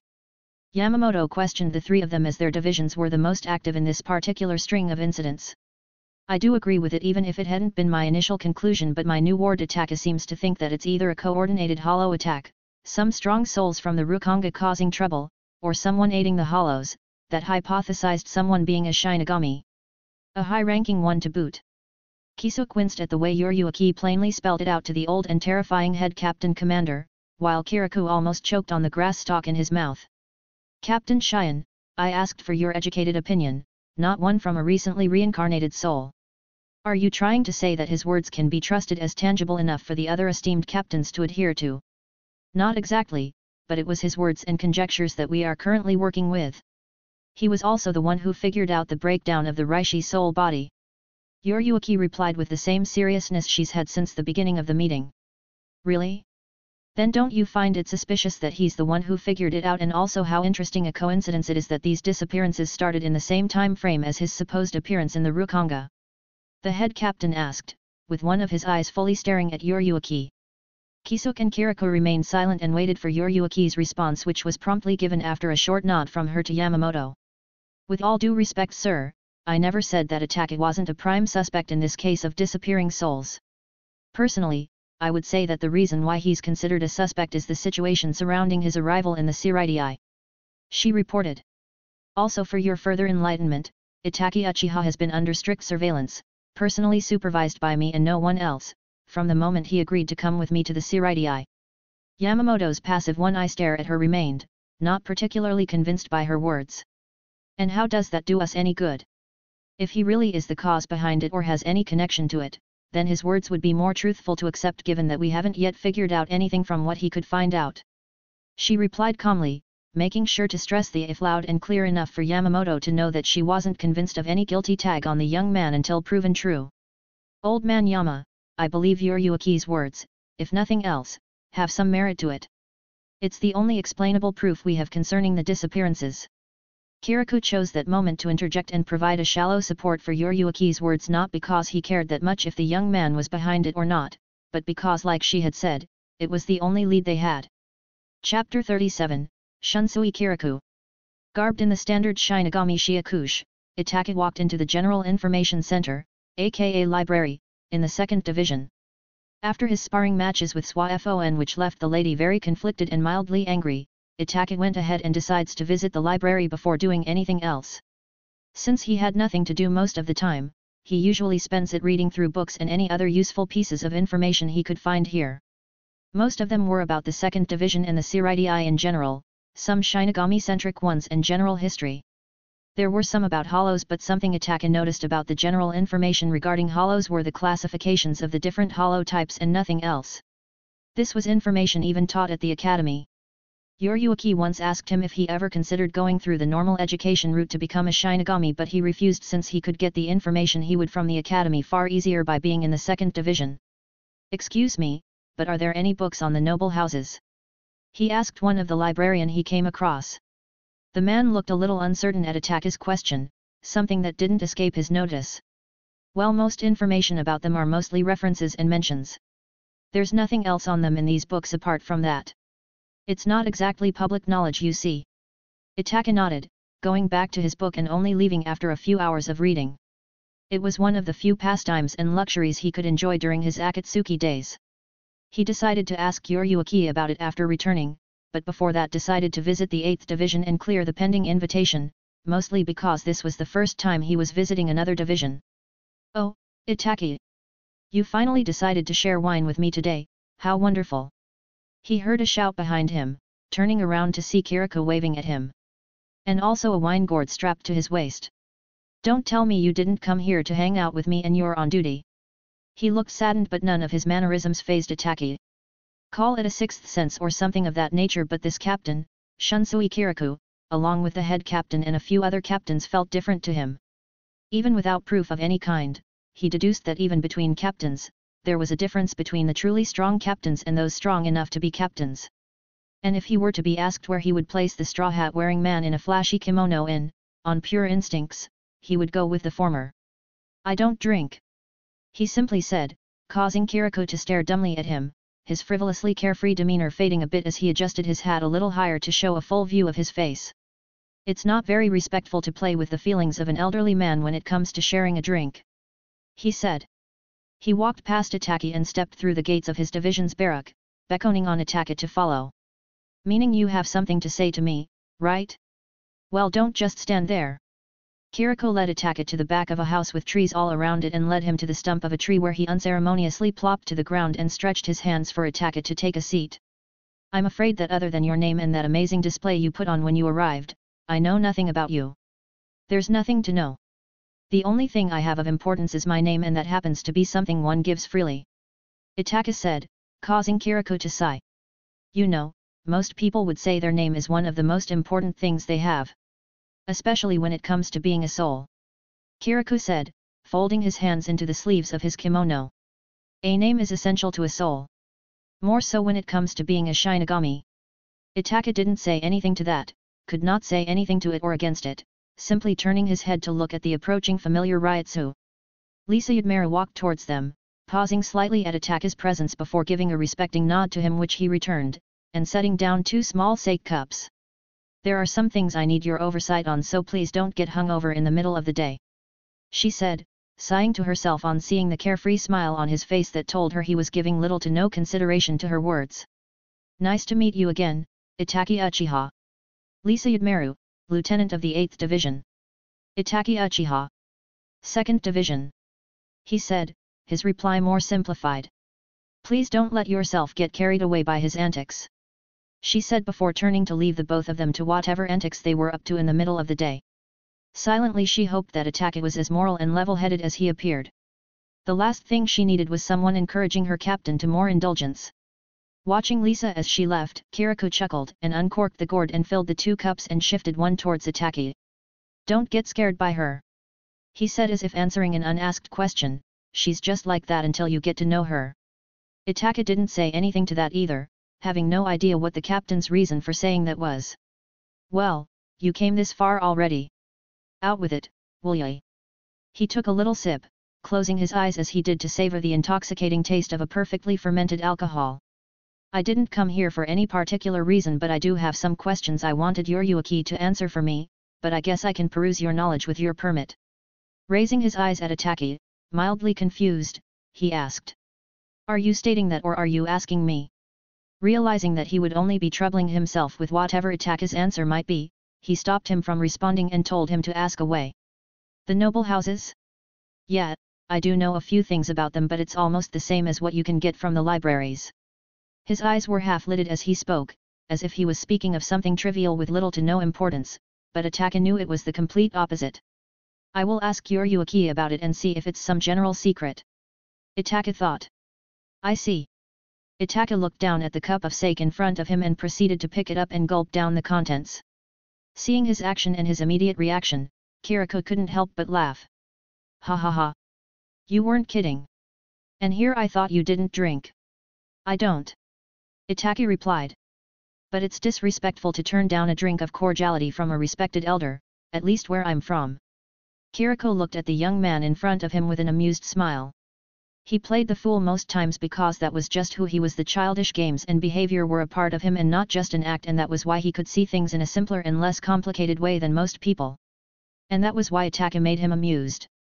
Oh Yoruichi is going to have too much fun teasing his cold mask off. Well then, how about joining me every once in a while for a cup? He said and lifted his cup to gulp down the remaining contents, exhaling in contentment as the liquid flowed down his throat. Hopefully the next time you come around, we can watch the moonlit sky. Itachi knew he wasn't much of a conversation person, something Kyoraku could tell straight away, and so for the short duration he stayed there, Kyoraku was the one who did most of the speaking. The man was a very good conversation partner and storyteller, well he had to be given he was into the millennium in years, hence the respect Itachi freely gave. Itachi's thought on him was that he could be a little tricky and somewhat obscure, rarely intense, and a little bit too laid back.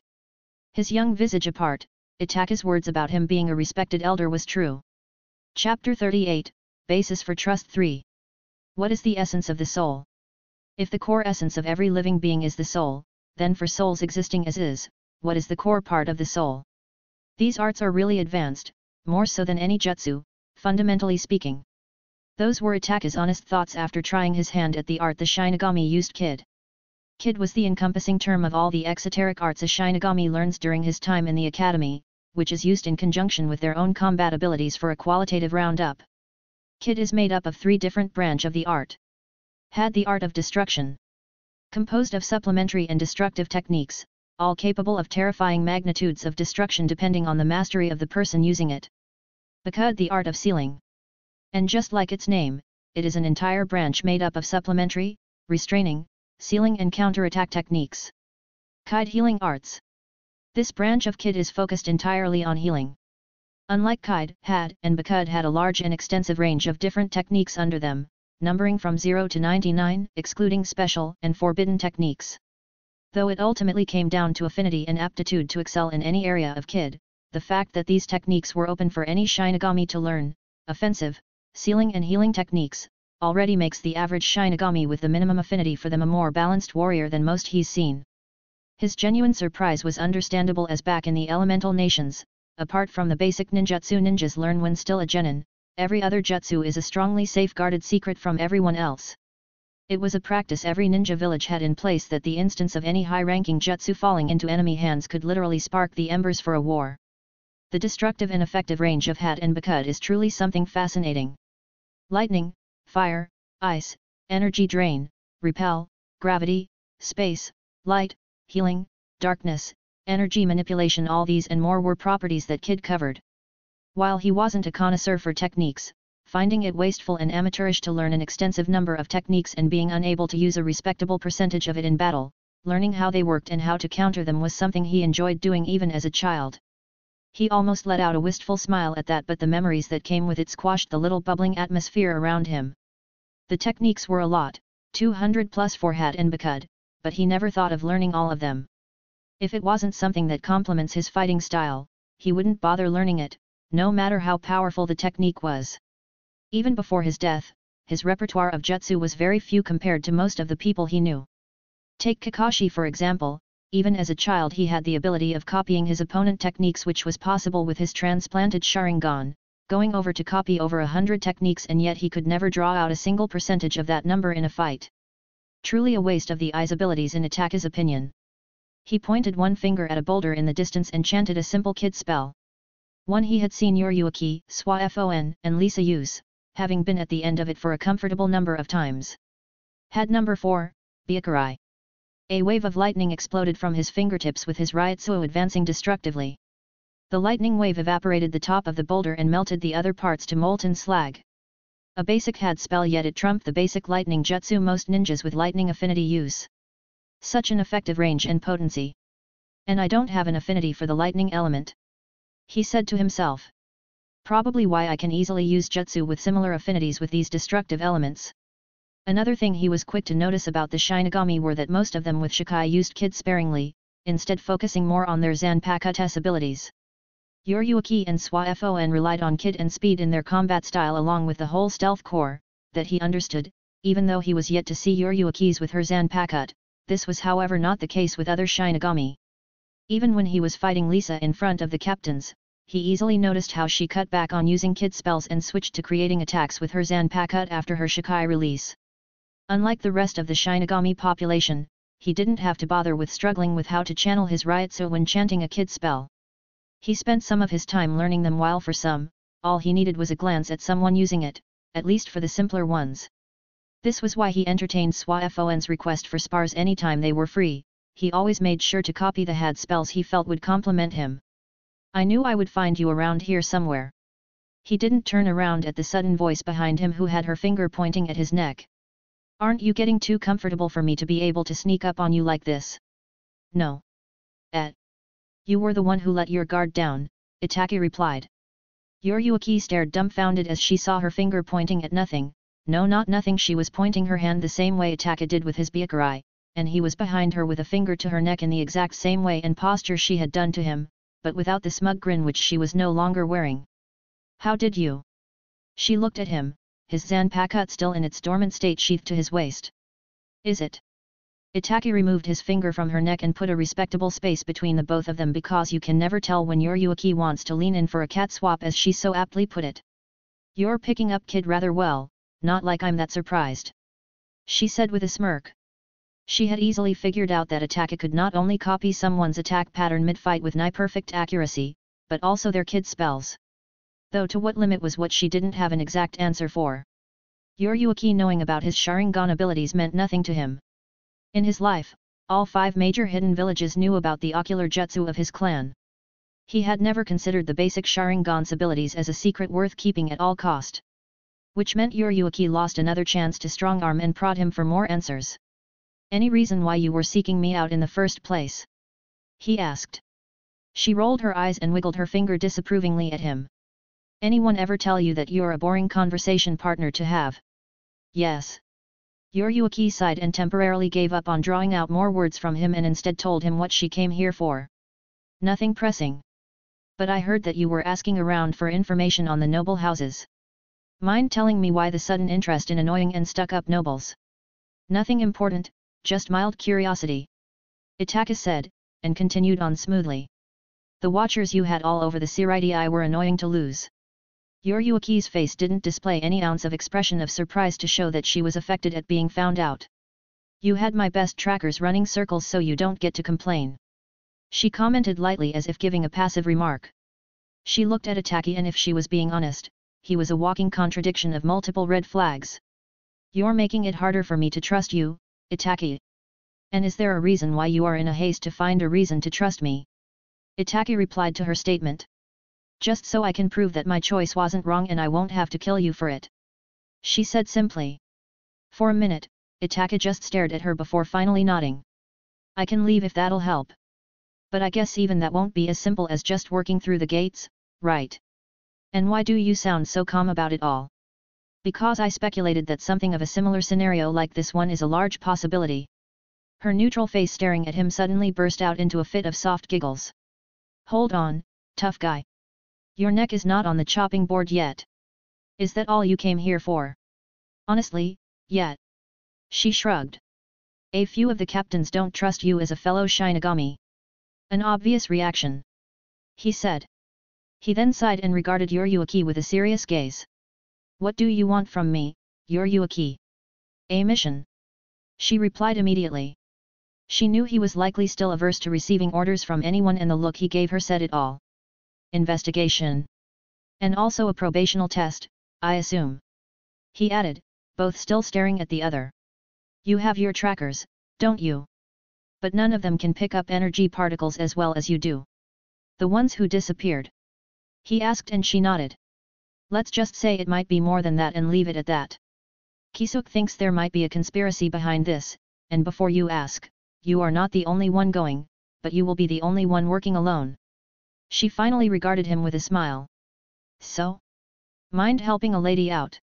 Itachi's mind had already gone through a string of likely probable things to happen if he took on this mission and they all ranged from but not limited to, ambush, assassination, a public execution, kidnapping, defamation, etc.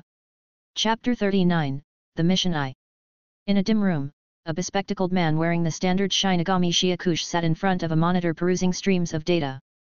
To his side were open files and looking at them made him frown a bit before it faded to a bemused expression. A variable at this time? Ain't that a bitch? He heard a hoarse voice to his side and his smile turned into another expression of amusement, but with something vague underneath. It can't be helped. The plan, bare bones as is, was made in a way that it adapts to any foreseeable change. The bespectacled man said to his unseen partner. This is all within calculations. Well, if you said so his partner said with a chuckle before going silent as if contemplating something. Heard about the new guy from the second? The captain seems to think he is the real deal. He clicked off the monitor with a snort and picked up the files, his eyes trailing with interests to a section of what was written. An illusion type Shikai. I admit I'm a bit curious. He said. Bet you would. His partner said in a patronizing tone. After all, it's almost impossible to find two Zanpakuto with the same type of Shikai abilities. Though his partner didn't say it, he understood what was being implied, except he wasn't worried. If the captains could easily break out of his illusion, and even know that they were in one, that means that his illusions aren't absolute. You don't have to worry about that. He said smoothly. Just focus on remaining low profile in your squad and keep your ears open for any valuable piece of information. As for the variable, he's on a mission right now. Want me to draw out his abilities? He shook his head. The captains did commend his strength and we wouldn't want to take any chances now, do we? His question was a rhetorical one, or his partner took it as one, but he smiled regardless and nodded in content. I have just the sample to draw his capabilities out. Well, you do you. You're the boss. With those parting words, the stranger's presence disappeared from the room while the man flipped through the report in his hands, a fulfilled smile almost welcoming his face. Now this, this is interesting. West Rukongai, District 17. Itachi's paranoia had tipped over a scale ever since Yoruichi approached him for this mission. As he currently was, though still lacking, he had basic information of the three worlds where the Shinigami operate, the living world, Soul Society, and Hueco Mundo. He was still severely lacking in his knowledge of Kido, especially the forbidden ones, but he could do without them, even if learning Kido would have been a blessing to him. There were still things he was ignorant of, a lot of things, but the basic knowledge was enough for a foundation for someone like him. He even learned that there was another release after the Shikai release a Bankai release the highest qualitative leap in power for a Shinigami and something that all captains had. Just dealing with them using slash not using Shikai is already a stretch. He could leave any time if this turned out to be an ambush, or a jungle execution, like his mind rattled about, but that would mean he had to go through with the mission just to know for sure. He prided himself in being able to read people, and given how long he stayed around Yoruichi and Soi Fon, he liked to believe his read on them were accurate, except that ninjas like them are known to be very good liars. What do you think, Tsukuyomi? Am I being too paranoid? Do you think you're being too paranoid, Itachi? Your cautiousness is warranted, your paranoia understandable. That was not an answer. Why do you need an answer? Tsukuyomi asked.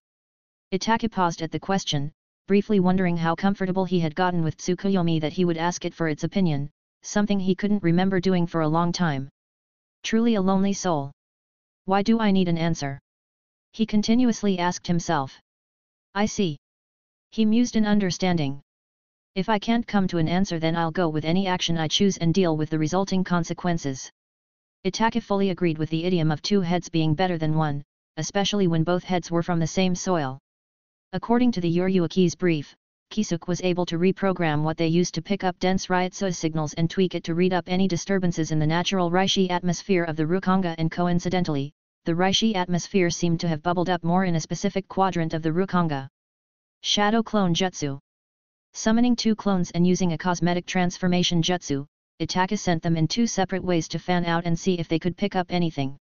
Yoruichi had given him a device to radio back to the research division of the 12th to request aid, scan for Reishi upsurge, or share information, but he was yet to use it and in caution of being tracked, he gave it to one of the clones and left it to its discretion.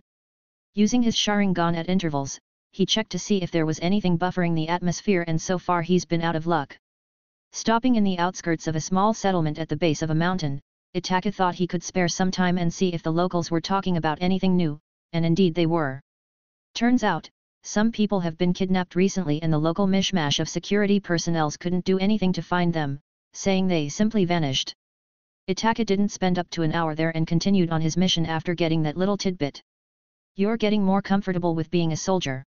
It was very rare for Tsukuyomi to take the initiative to speak with him, except for a few times where he was mentally troubled, so this was a pleasant surprise, especially his words.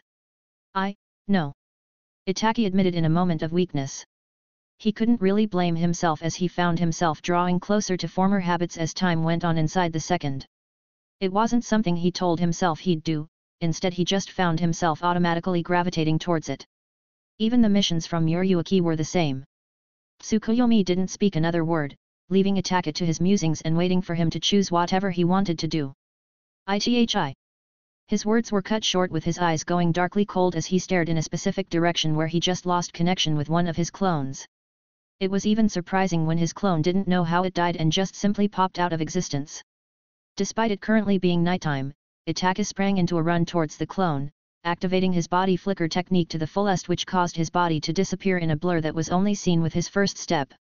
Itachi and his clone arrived at the same time and without exchanging a word, both disappeared after a trail they caught. For it to be able to sneak up on Itachi, even if it was a clone, then its abilities couldn't be underestimated. Unfortunately for whatever it was, Itachi's eyes were capable of seeing the faintest of energy signatures if one knew how to look for it. Unless it was a normal soul, whatever killed the clone couldn't have done so without utilizing their Reiatsu in a way, and that was the trail they got. A very faint thread of Reiatsu that was almost disappearing when they arrived. Flank them. A quick glance to the other and a message was communicated. Hiding is useless. Itachi said and the hollow's eyes behind its mask widened as he saw Itachi in mid-swing, a few centimeters away from its neck. Clang! Itachi's eyes betrayed the faintest of surprise when the hollow backtracked two steps back and parried his sword. However, before it could gloat or press on an attack of its own, the clone appeared behind him with a pointed finger which he slashed down. Bakudo number 1, Sai. Bakudo number 1, Sai is a restraining supplementary kido spell that seals the target's movement in a form of invisible chains to attack his eyes. The reaction from Itachi and his clone was instantaneous as both of them chorused their next attack in tandem. Hado number 4, Byakurai. Hado number 4, Byakurai. The restrained hollow was hit with two streams of white lightning from both of them, engulfing the spot he was restrained in plumes of fire and lightning. The clone appeared at Itachi's side and they both frowned as they looked at the smoke before it was forcefully blown away with the weapon the hollow held. He he he he he he he. It laughed sickly as if it was amused by what they just did and further inspection from the shinobi revealed that not only did it escape its bind somehow, it also remained undamaged from their joint attack. Chapter 40, The Mission 2 Shinigami, oh, Shinigami. A thrumming thrill reverberated through its throat as it let out those words full of clarity and that was enough for Itachi to know that he wasn't just dealing with any kind of hollow. Its speech, how it reacted, and how it escaped its bindings with ease was a dead giveaway that the hollow before him was different from any other hollow he's fought. An Adjuchas. Hollows as a race are divided into two simple categories, normal hollows and great hollows, commonly known as Menos. Under Menos, there exist three progressive evolutionary paths starting from Gillians, Adjuchas, and then the strongest evolutionary height of a hollow, a Vasto Lorde. Each classification is accompanied by a staggering qualitative leap in overall capabilities, most strong enough to fight squarely against lieutenants or even outright kill them. These hollows are specific.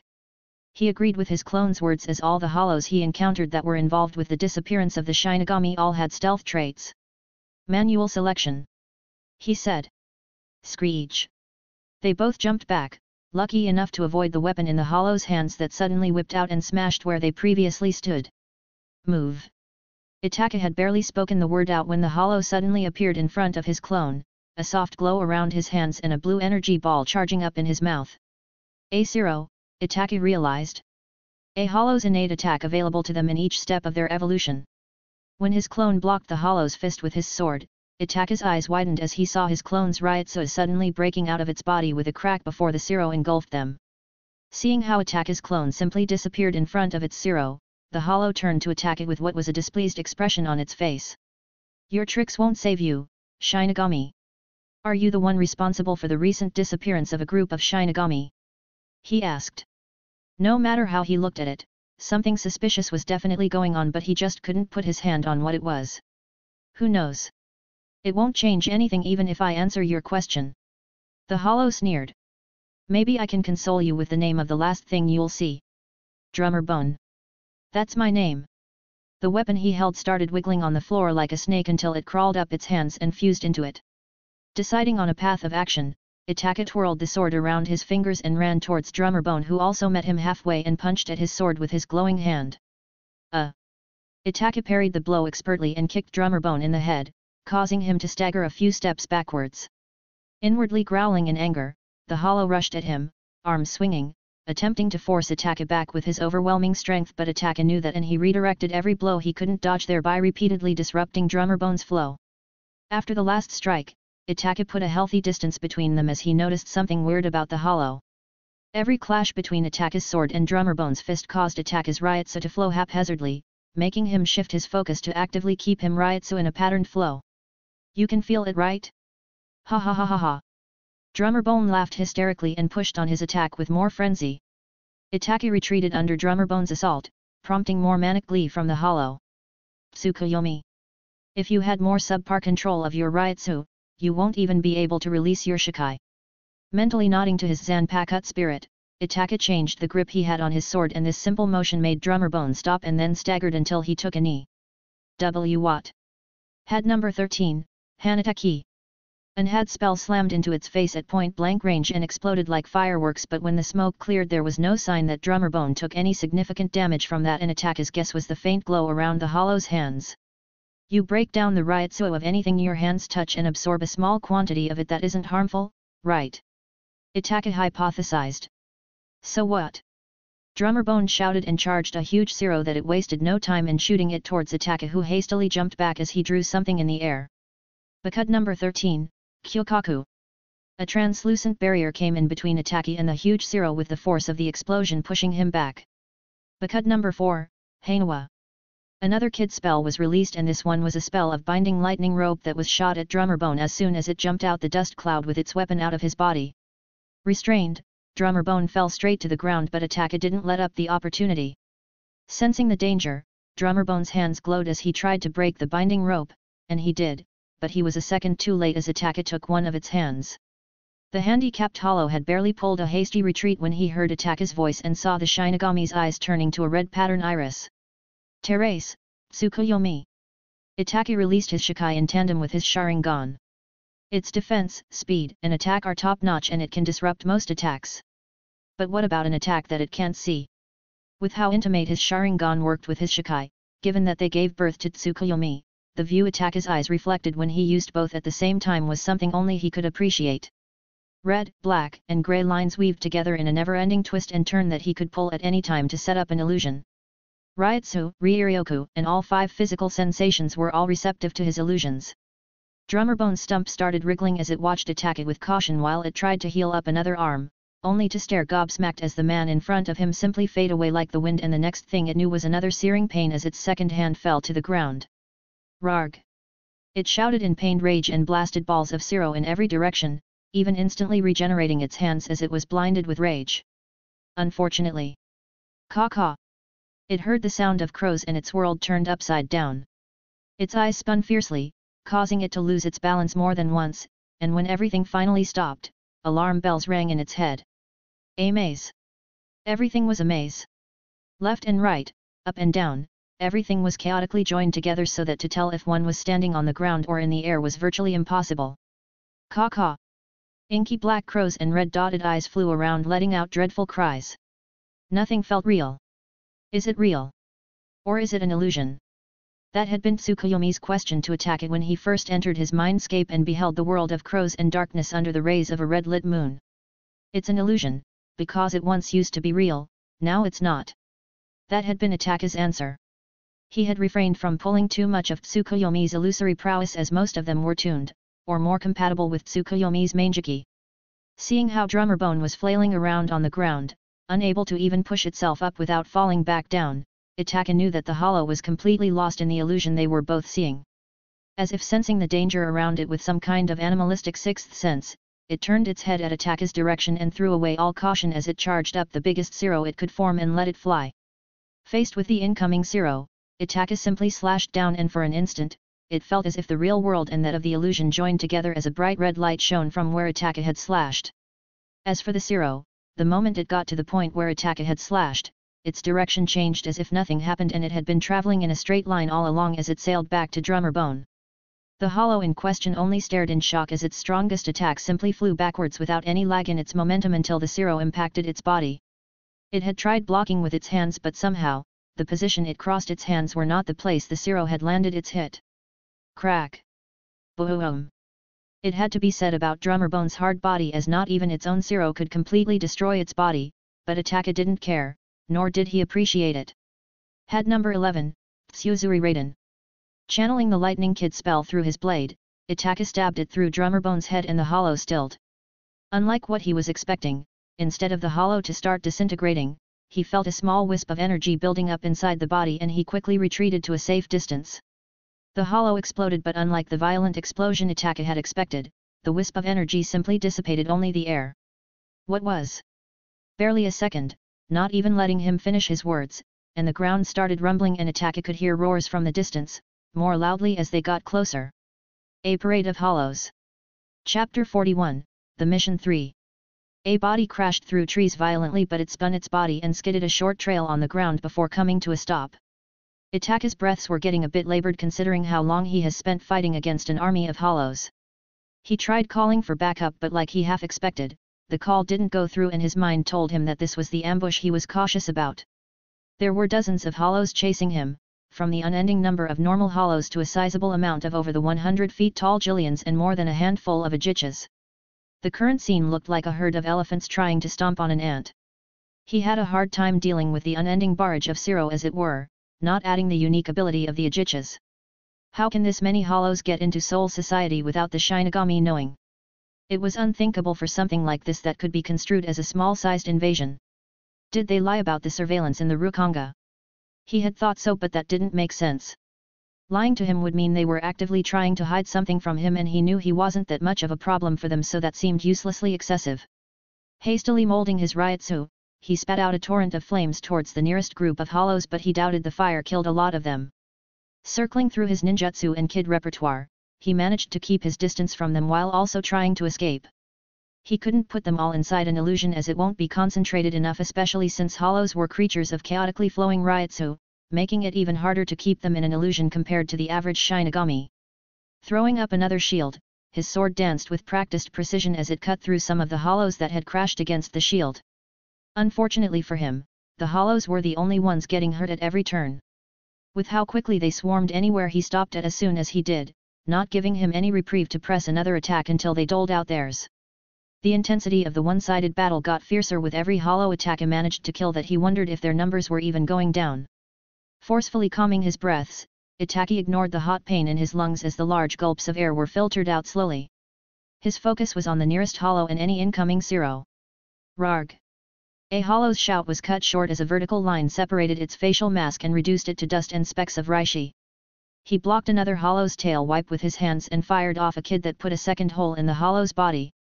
He had barely retrieved his blade before a volley of Ceros was blasted in in direction from the tall black spooky Gillians and he only escaped being singed with a well-timed substitution jutsu which gave him another chance to touch a Hollow's mask with his palm and release a stream of lightning that disintegrated the Hollow's head. His last attack had left him open and the price of that was a punch from a spiked clawed hollow that left a deep bleeding wound in his side. Curses! He cursed in his head but only let a lone wind sea rest upon his face as he pushed himself up. They are getting smaller, I can see it now. He motivated himself. Even if large illusions for a rowdy crowd were inadvisable, the basic abilities of his sword showed its worth during this fight. Simple things like hiding the trajectory of his sword or lengthening it earned him the little room he had to organize himself a dive into the fray again. He wasn't stupid. Of course not. The first hollow, drummer bone, had been turned into a hollow bait upon its death which meant that someone must have planned it in the event of a likely situation occurring. It's unlikely that it's the Soul Society trying to kill me because this method is too convoluted and it's not a certainty that it'll kill me. Too much theatrics for someone not considered a threat. He contemplated his situation even as he dodged and hacked away at the now thinning herd of hollows. It's almost too clear that someone is working with hollows, highly likely that they are part of the Soul Society, Shinigami, captain, or from one of the noble families. If so, then was the bait for me, or for anyone who killed that specific hollow. Itachi was quick to realize that the momentum the hollows had chased after him forced him to withdraw from his former location and scope out where they came from. If that was planned too or not, he had no idea. He heard the reverberating sound of a hollow's high-speed movement to his side and a small crank of his neck gave him view of a hollow he quickly put under genjutsu as it was the only one near. Changing strategy, Itachi started kiting them as he started running in a circular manner. With the slow Gillians at the back, also being the ones firing most of the Cero, Itachi made a beeline for them while cleaving through any of the weaker hollows that came near him.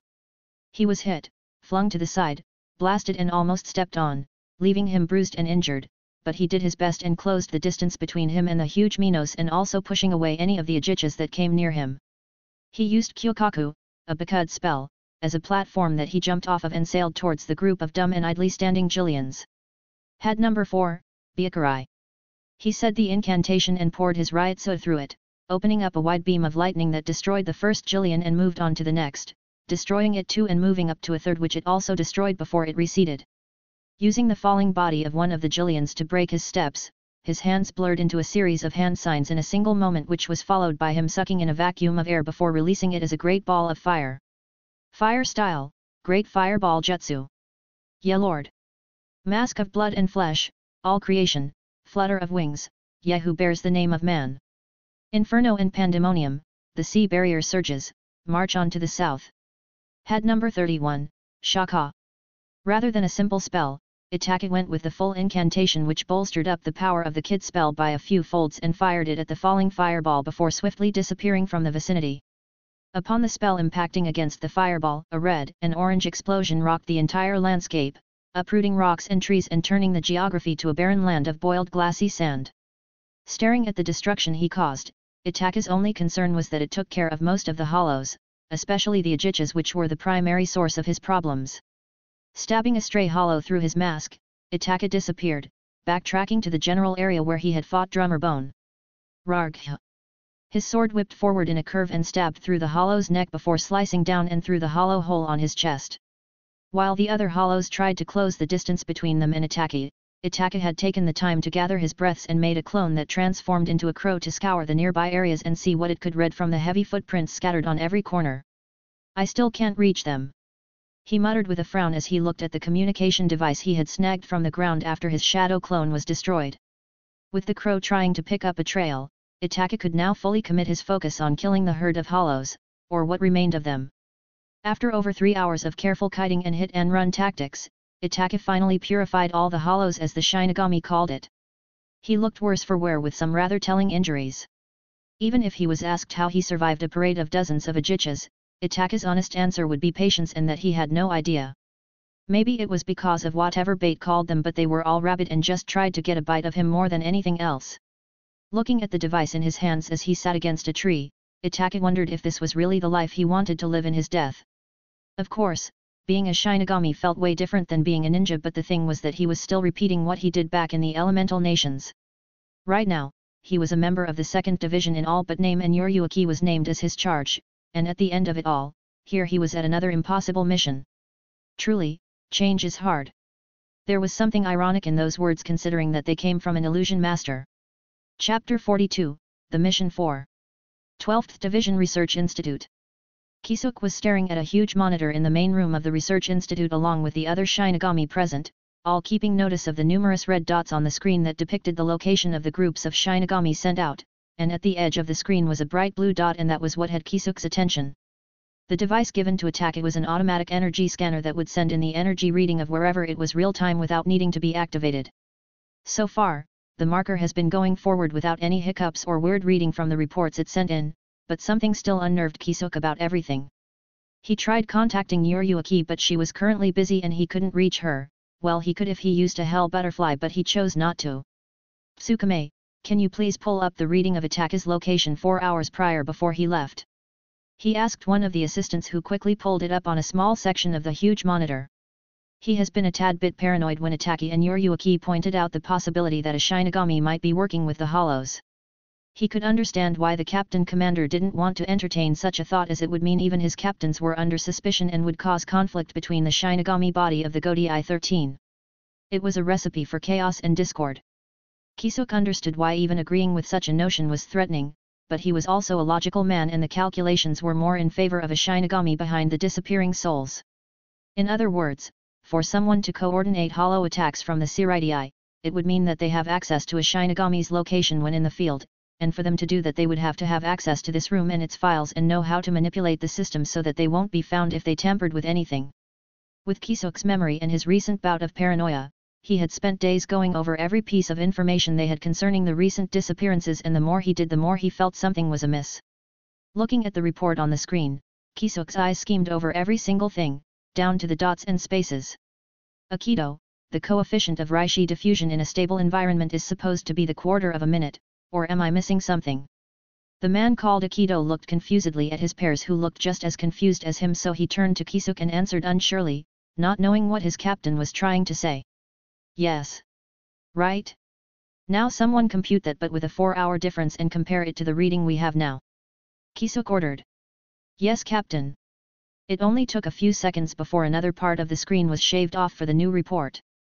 Kisuke scrutinized the two reports for any difference and other than some decimal numbers being different, nothing else looked amiss.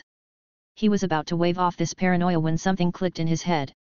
If the calculations were right the first time around and the same variables were used for the second one, basic mathematics says that both answers should be the same. And when it comes to miscalculation in energy imbalances, Kisuke's head whipped to Akito who stood shocked, not knowing why his captain was looking at him with a fierce expression. Sir! Send out an urgent notice, now! All Shinigami out on mission in the Rukongai are to return immediately, head captain's orders.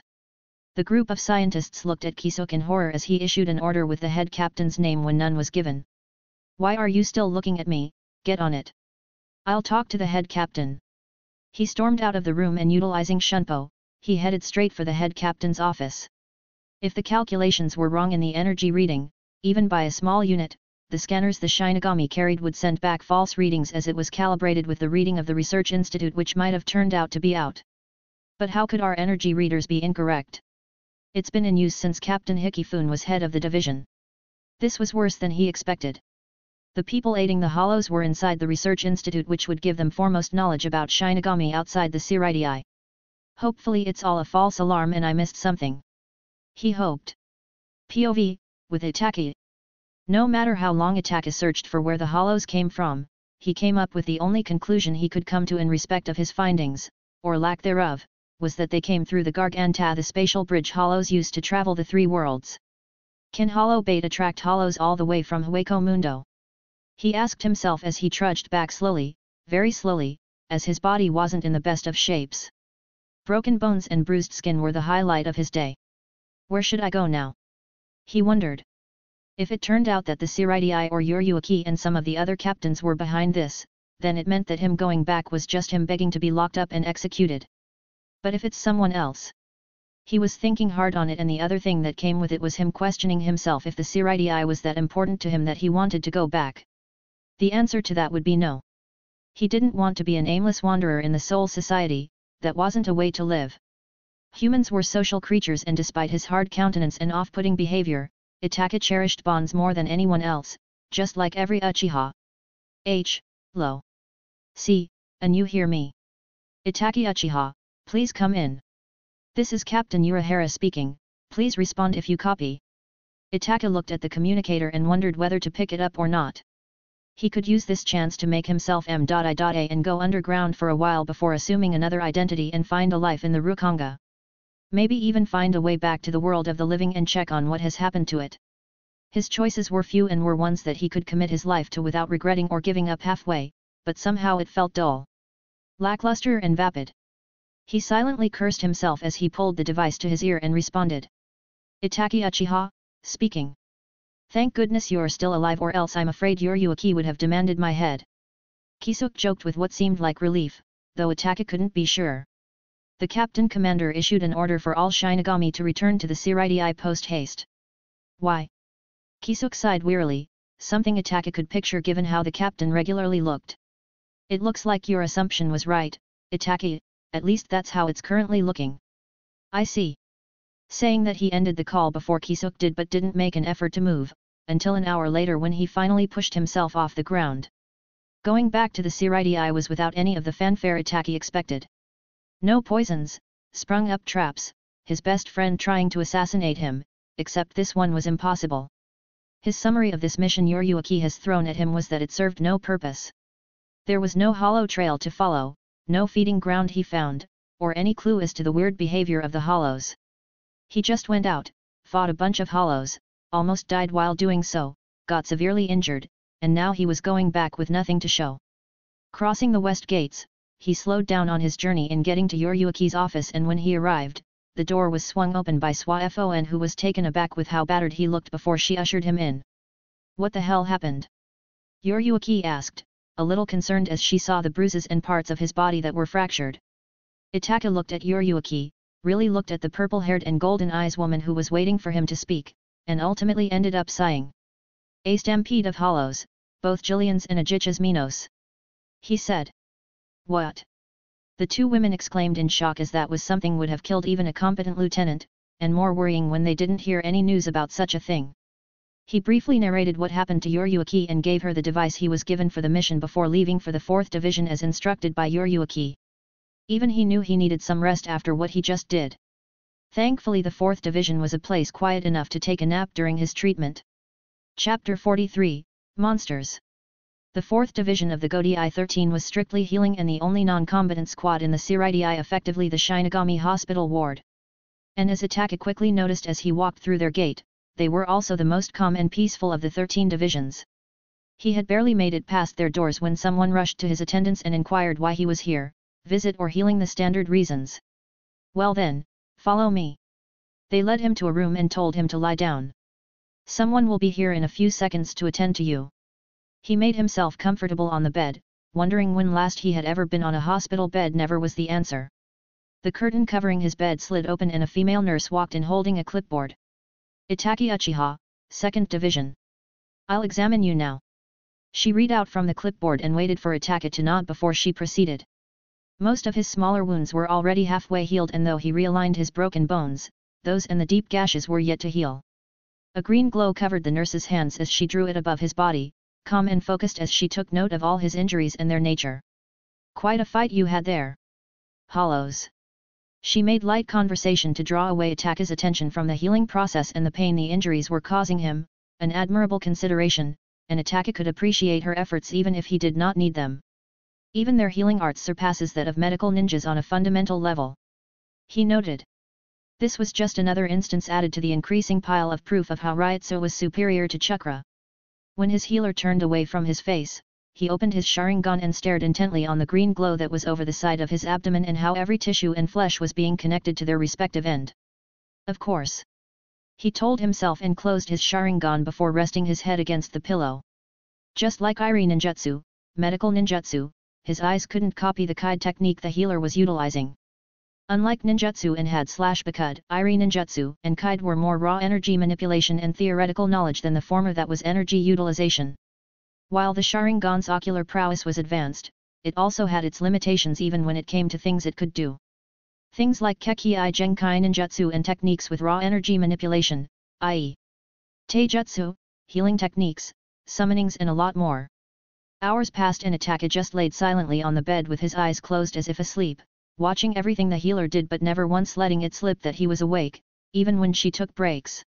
After six slow hours of healing, all his major injuries were more or less taken care of, which was more than enough for him to function at top efficiency but he still laid on the bed and rested with his eyes closed. Suffering from a terminal illness at a very young age made him appreciate the effort healers put in healing their patients. So even if he could move now, he waited for when he was told he could go. Everyone to your station, Captain Unohana is supervising the patients. He heard someone say and at those words, he could feel people shifting around his ward, going to their patients and making sure they had been properly attended to before moving to another one. It was a normal thing for Captain Unohana and her lieutenant to do supervisions from time to time, teaching and correcting the young healers of her division. And due to the casualties, especially after the last division-wide mission, she has been attending to the unending influx of wounded Shinigami and thought to do a check after getting some free time for herself. She gave advice to those who needed it and answered all the questions she was asked as she moved through the numerous wards. Thankfully she had her lieutenant and leaders of the 10 relief teams, her division's equivalent of the seated officers of the other divisions, else she wouldn't have been able to thoroughly inspect her healers in time. She entered another ward with rows of beds with all their curtains opened for her to inspect the patients. During her checks, she came across a rather memorable face from one of the previous captains meeting a few months ago the man Yoruichi took in, Itachi Uchiha. It wasn't every day one sees a recently reincarnated soul that strong and the impression he left on the captains was commendable. Oh and he wasn't sleeping, so she wasn't disturbing him. Glad to see you in good health, Mr. Uchiha. I see your recent mission wasn't without its hiccups. Itachi slowly opened his eyes and nodded at her in greeting. I'm rather fine, Captain Unohana. Then I'm glad. She smiled softly. Hope to see you again, or I guess not. Have a good rest, Mr. Uchiha. She nodded at him and continued her checks while Itachi closed his eyes and went back to resting. His healer came to him a few minutes after and told him he wouldn't be discharged for a few days for a complete healing. Itachi had wanted to leave upon hearing that as the remaining wounds and pains he was feeling weren't something that'll affect his daily activities but he stopped himself, rather forcefully even, by reminding himself that there was no reason he had for wanting to rush back to the second. So the next three days was him taking his time to relax and bring his running thoughts to a stop. He also met Captain Unohana twice after her first check and the woman was always patient and calm whenever she was spoken to. They had a brief conversation on both occasions before she continued with her duty and Itachi had to say that Captain Unohana, out of all the captains, was the one he had the most favorable impression of.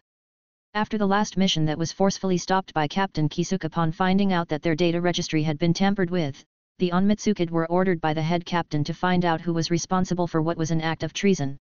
Kisuke was temporarily suspended as Yoruichi had him under investigation, a formality on her end, while her subordinates combed through the entire 12th Division and by the end of the week, was successful in rooting out the person responsible. The man responsible, Kinyaro Tamori, was a close assistant of the 12th Division former captain, Kirio Hikifune, and greedy for the same success of his predecessor, started experimenting on hollows and Shinigami in fact, any soul he could get his hands on. As his strength was rather subpar, he started experimenting on hollows in hope of cultivating their powers for himself. Surprisingly, he was able to kickstart his sick goals in the short span of time where the division was without a captain after the former captain had retired. Yamamoto had called for his execution after he was tortured by the Onmitsukido of everything he knew and all the plans he had made and the execution was carried out by the current captain of the 12th Division, Kisuke Urahara, in front of the other captains, their lieutenants and a few other Shinigami of the Gotei 13. Watching the execution, Itachi was witness to the spectacle of all the captains releasing their reiatsu in a show of intimidation for any would-be traitor wanting to follow in Kinyaro Tamura's steps, and it was then he truly realized what type of people were the captains. What he felt from them at that moment was not a sensation he'd ever felt from any ninja, kage, or sannin. Instead, it was reminiscent to what he had felt from the tailed beasts. Excluding the overwhelming malevolence of the tailed beasts, the captains matched them in intensity, but that wasn't what had truly terrified Itachi of the nature of the Shinigami captains. No, what rooted him to his spot with sweat running down his brows, were the few captains whose intensity surpassed even that of the nine-tailed beast. Most people would not have felt it because of how addled and chaotic the atmosphere became, but Itachi could literally see the spiritual pressures, Reiryoku, of the captains, despite them still controlling it and preventing it from smoldering the other Shinigami present to death. Head Captain Genryusai Yamamoto Shigekuni 4th Division Captain Retsu Unohana. 8th Division Captain Shunsui Kyoraku. 10th Division Captain Ishin Shiba. 11th Division Captain Kenpachi Zaraki. 12th Division Captain Kisuke Urahara. These six captains had the most powerful intensity from the others, though Itachi noticed the weird spiritual pressure of the 13th Division Captain, Jushiro Ukitake, and from those six, three of them in particular were above anything he had seen. The head captain, Zaraki Kenpachi, and Kisuke Urahara the three of them instantly redefined what the term monsters meant to Itachi. Just for that instant, the veil surrounding the Shinigami was lifted for Itachi's eyes. Chapter 44, The New Routine A few months later. It has been months after the semi-public execution of Kinyaro Tamori on the grounds of treason against the Soul Society as a whole and after his execution, the unexplained disappearances stopped and hollow sightings reduced drastically to what was considered natural. During this time, Itachi tried his best to live as true as much as he could amidst the nightmares and screams that came to his mind any time he fell asleep. It wasn't easy well it hasn't been easy for him for years because every night he was subjected to the same dream but different faces and screams. Since the night of the massacre, it felt as if he was trapped in a Tsukuyomi of his own making. No, not Tsukuyomi, instead the infinite loop of the Izanami. It became even worse for him after the execution because the dreams became frequent and sometimes hard to wake up from. A trauma he hadn't gotten over even after a decade. Even after so many internal debates and advice from Tsukuyomi, Itachi repeatedly found himself coming back to this particular sensation of feeling lost and wondering what to do. The night after the execution was one he had spent completely awake by staring at the night sky to pass the hours. Witnessing the execution made him question if being in the Seireitei was a wise choice. He might have placated himself saying that the Shinigami of Seireitei fought against hollows but the execution was like a mockery of intentional naivete. This was even worse than his Akatsuki days because then he had a directive. A few days after the execution, Itachi decided to stroll through the nearby Rukongai districts just to distance himself from the Seireitei and think clearly without him trying to assign himself a Shinigami's duty. One of the good things after the execution was that Yoruichi stopped snooping around his movements and even took back the group of people she had watching him his stroll into the West Rukongai's district ended up turning into something he never expected. Flashback, West Rukongai, a few days after the execution. He might have been lost in his head so much that he didn't know when he crossed into the 3rd district but that didn't stop him either. He only noted his location and continued walking around idly. Unfortunately, he was brought out of his mental therapy by the rhythmic sound of two things smacking against each other along with the soft panting from exhaustion. Following the sound, Itachi came across a young man, mid-twenties from his looks, or maybe his mid-hundreds, smacking a wooden stick fashioned like a sword against a tree while looking completely exhausted. He gave the boy two minutes before he fainted from exhaustion if he continued striking his sword only to be proven wrong when the boy barely made it to the first minute before be keeled over. With how close this district was to the Seireitei, so close that its tall white walls were completely visible from where he stood, he didn't have to worry about the young man's safety but despite that he ended up sitting on a tree for the next few minutes to see if the young man would wake up but he didn't. Muttering under his breath, he stood up from where he was sitting and walked away while keeping a certain distance from the fainted soul. He ended up catching an animal by the type he returned to check if the boy was gone, but no he was still there. He made quick work with butchering and skinning the meat, silently thankful that he came with his satchel for his knives which had a little bit of salt from his Rukongai days. No sooner had he started salting the roasting meat did the young man start stirring up from his hour-long sleep. He watched as the man tried pulling himself up with the little bit of strength he got from his sleep but he just fell down breathing heavily while his eyes moved around to take note of his surroundings. Stay still. Itachi said and watched the young man freeze before his eyes widened as he finally took note of Itachi and what he was doing. You're still exhausted. Close your eyes and relax. A few minutes later, Itachi was done with the roasted meat and served some on leaves and gave it to the laying man. Eat slowly. I don't have water. He said.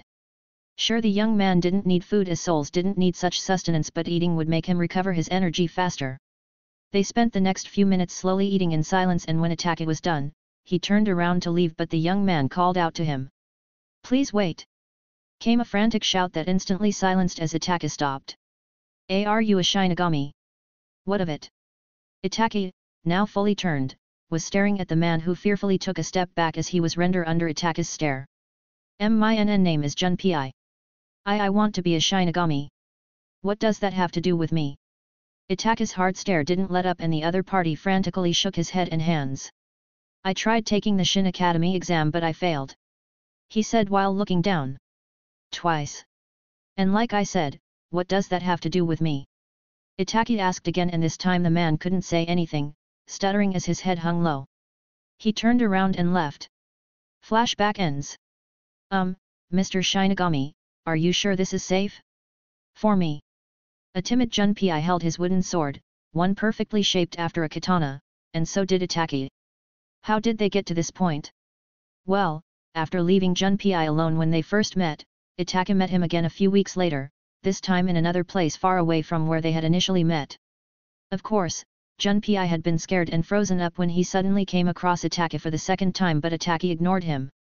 Since then, almost as if Itachi was stalking him, Junpei would never let him hear of those thoughts, they met a couple of times and every time Jun Junpei would try to get Itachi to help him but each time he was faced with simple questions like why. For what, and they always stomped him. Maybe because he was too persistent or because Itachi had nothing better to do, the next time they came across each other at where Jun Junpei frequented for his suicide training, the young man was surprised to see Itachi with two perfectly carved swords that he gave to Jun Junpei for storage. From that day, a month after their initial meeting, Itachi would pop up unannounced and if Junpei wasn't with the swords he wouldn't train him, something the latter quickly figured out as he started coming with both swords every day, week in week out regardless of if Itachi showed up or not. Since the beginning, Itachi never told him his name, not that he didn't want to but Junpei didn't ask and just settled for calling him Mr. Shinigami. Start? At Itachi's words, Junpei's face turned serious and he rushed at Itachi with a downward slash which Itachi sidestepped and hit his sword to further unbalance him. Just like he never asked Itachi for his name, Itachi never asked him why he was hell-bent on becoming a Shinigami. Parrying, sidestep, dodge, counterattack were the few things Itachi focused on. He knew that the requirements for entry into the Shin Academy was strictly Reiatsu based so he made Junpei's training into a montage to kickstart his subpar Reiatsu. From pushing his own Reiatsu into Junpei's body after every training session to stimulate the latter's Reiatsu, he also made sure that throughout the duration of every training session, Junpei's mind must be focused on trying to flow his Reiatsu into the wooden sword. Because of how advanced and complex manipulating Reiatsu was, he made Junpei do it just like how ninjas did with Chakra the same way he pushed his own Reiatsu into the young man's body. As if something was showing him off, Junpei finally picked up how to flow his Reiatsu after almost two months of trials and errors. Though Itachi didn't comment on just how poor the oblivious youth was doing it. With the recent breakthrough, Junpei started flowing his Reiatsu into his sword and using it to attack Itachi, redoing it every time his concentration was broken. The dynamic between the two of them was hilarious and bad at the same time with Junpei rarely ever asking Itachi any serious questions, even about the ones with his Reiatsu exercise, and Itachi hardly speaking a word except to directly tell Junpei to do something specific. A small updraft of air picked up around them as Junpei blindly waved a sword with his leaking Reiatsu at Itachi who took his time to break Junpei's concentration every time the youth was getting comfortable. After all, the reason behind every single exercise they did was to exert and exhaust Junpei's Reiatsu in order to stimulate any kind of minor growth. It worked for Genin and Chunin ninjas so there was a high chance it would for him too. Chapter 46, Chapter 45, Acknowledgement Junpei knelt on the ground, thoroughly spent, gasping in a bid to get his breathing in order. Ever since Mr. Shinigami started carrying those exercises on his body, he found out that he started getting tired more easily and quickly than before but he didn't say anything and desperately hoped that Mr. Shinigami wasn't playing a sick ploy with him. He listened to what Mr. Shinigami said and did what he was told to do obediently because to him, Mr. Shinigami looked like one of those people who hated wasting time. However, his tiny suspicions and worries vanished when he found out that he actually felt stronger and brimming with energy. He might or might not have stupidly punched a tree and all he got in return was a painful screech of a scream and nothing happening to the tree. He had no way of knowing if he was truly strong or his head was messing with him, but all that became a moot point when he started getting a tiny bit faster, all up to the day where for the first time he actually was able to move his Reiatsu and feel it leave his body in tiny wisp.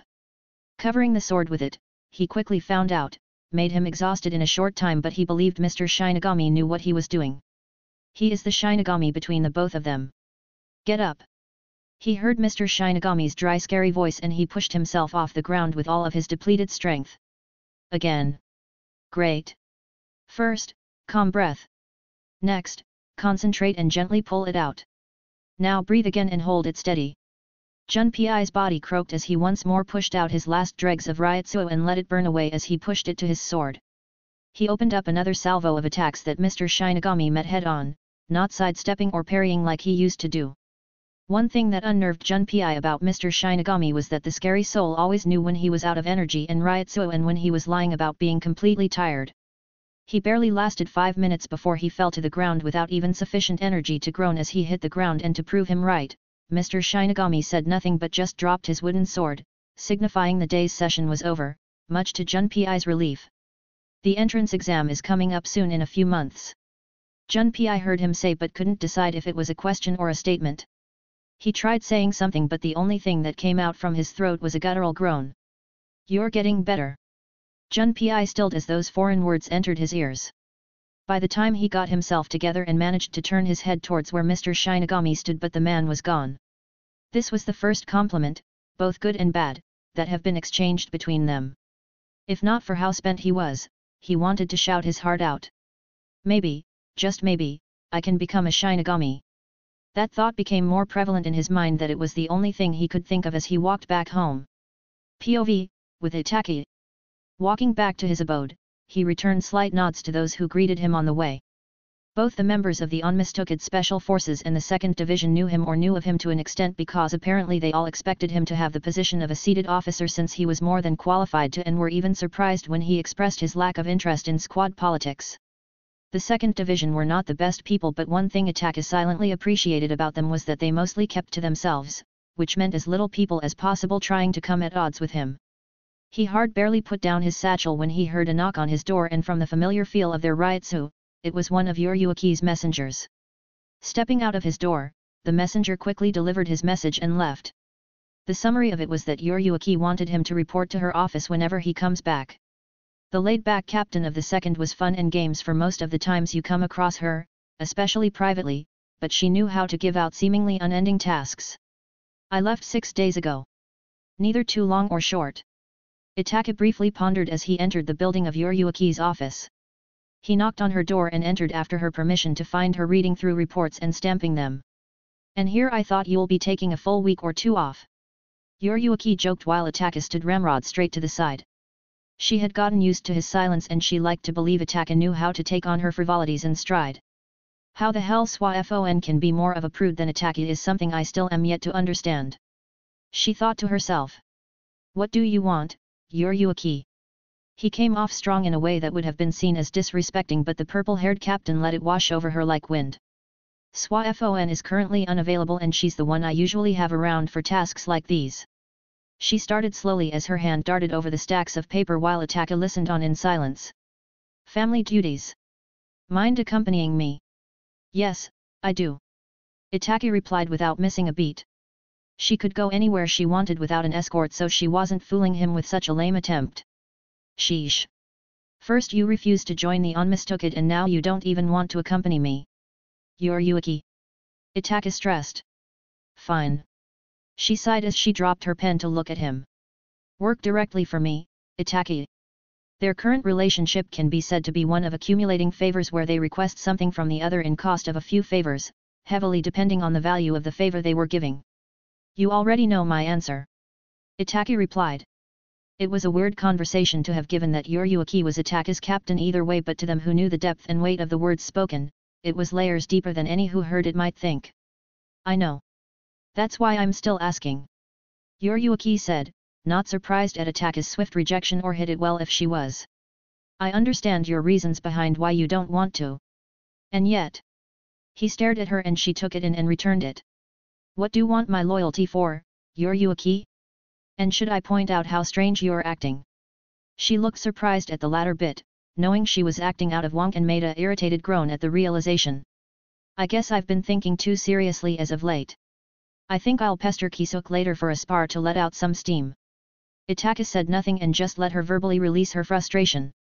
So. Actually I want you to accompany for a meeting of clan heads, not for me but for you. I know someone you might be able to ask some questions without offending them. Why am I doing this? Obviously because you're lost, or else you wouldn't be spending days in the Rukongai. Questions. Itachi had them, no doubt, but he knew some answers were better searched for than given. Also this might give him an understanding of the noble families and how their existence affect the soul society. I'm not in a hurry. I'll think about it. Itachi said and turned to leave the office as Yoruichi gave him her parting words. Kenpachi is looking for you so don't be surprised when you find a short pink et popping up around you. After the doors closed, Yoruichi dropped her pen and threw her head backwards because something impossible just happened and she was too carried away to quickly notice it. Yoruichi Shihoin never begs for anything, least of all for someone's loyalty. How it came to that was something she had little control of. Oh. Maybe I should visit Kyoraku. Yes, ha ha ha. To hell with these reports. She said and stomped out of her office before disappearing with a shunpo as she headed towards the Shiba residence. Chapter 47, Chapter 46 Harnessing Potential Itachi secluded himself in a part of the forest surrounding the west gate and sat on top a boulder with both legs crossed with his sword resting on his legs. It only took a moment before his consciousness plunged into the dark red world of Tsukuyomi and there he was, as huge and black as he was in the beginning. Tsukuyomi! He called out, not minding the part of Tsukuyomi's feathers that fell off and turned to smoke only for the wisp of smoke to coalesce into crows that flew around him. Itachi! Tsukuyomi's head bent down halfway to look at Itachi. What do you require of me, Itachi? Like always, Tsukuyomi was already offering his help to Itachi. Not just Tsukuyomi's deference to Itachi, the both of them shared a very close relationship, so close that only the captains could boast of this bond with their Zanpakuto spirit and yet still envy it. What all of them were unaware of however was that Tsukuyomi literally used to be Itachi's eyes. How could an eye deceive the body and force them all to ruin?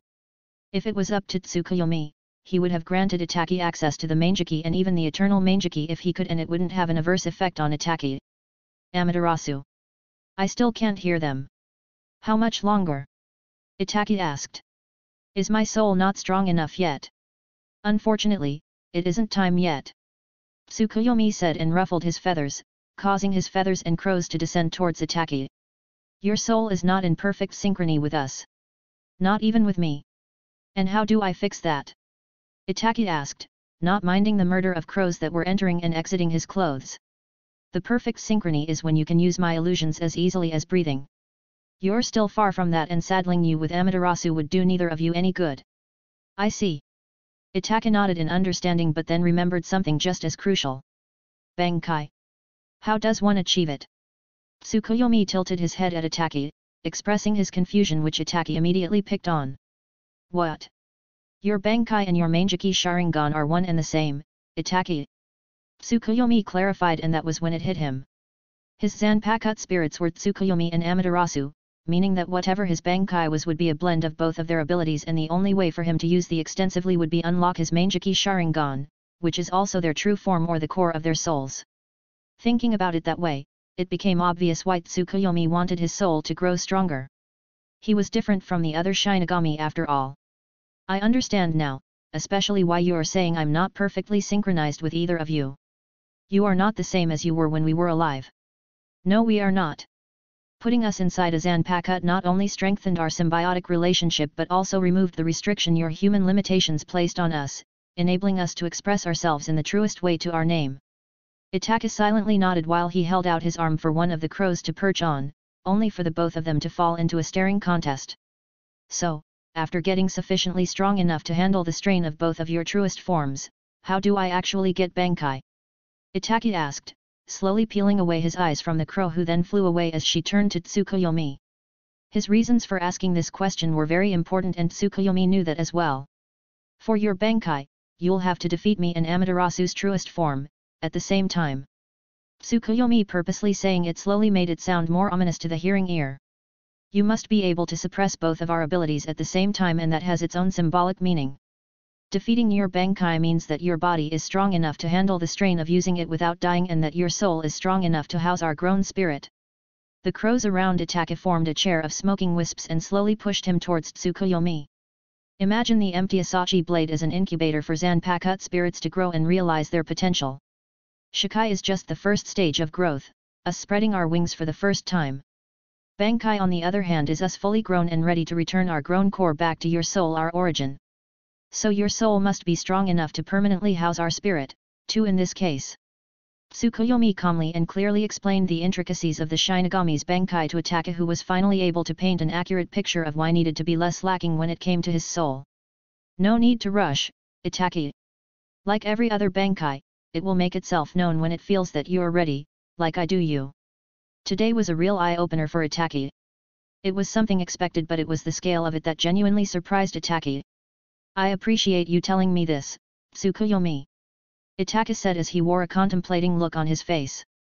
Everything Tsukuyomi said was valuable but one of his major takeaways from it all was that even his Shikai was lacking much more than he thought. If he couldn't be perfectly synchronized with Tsukuyomi with his basic Shikai abilities then all it did was show him how unprepared for Bankai he was.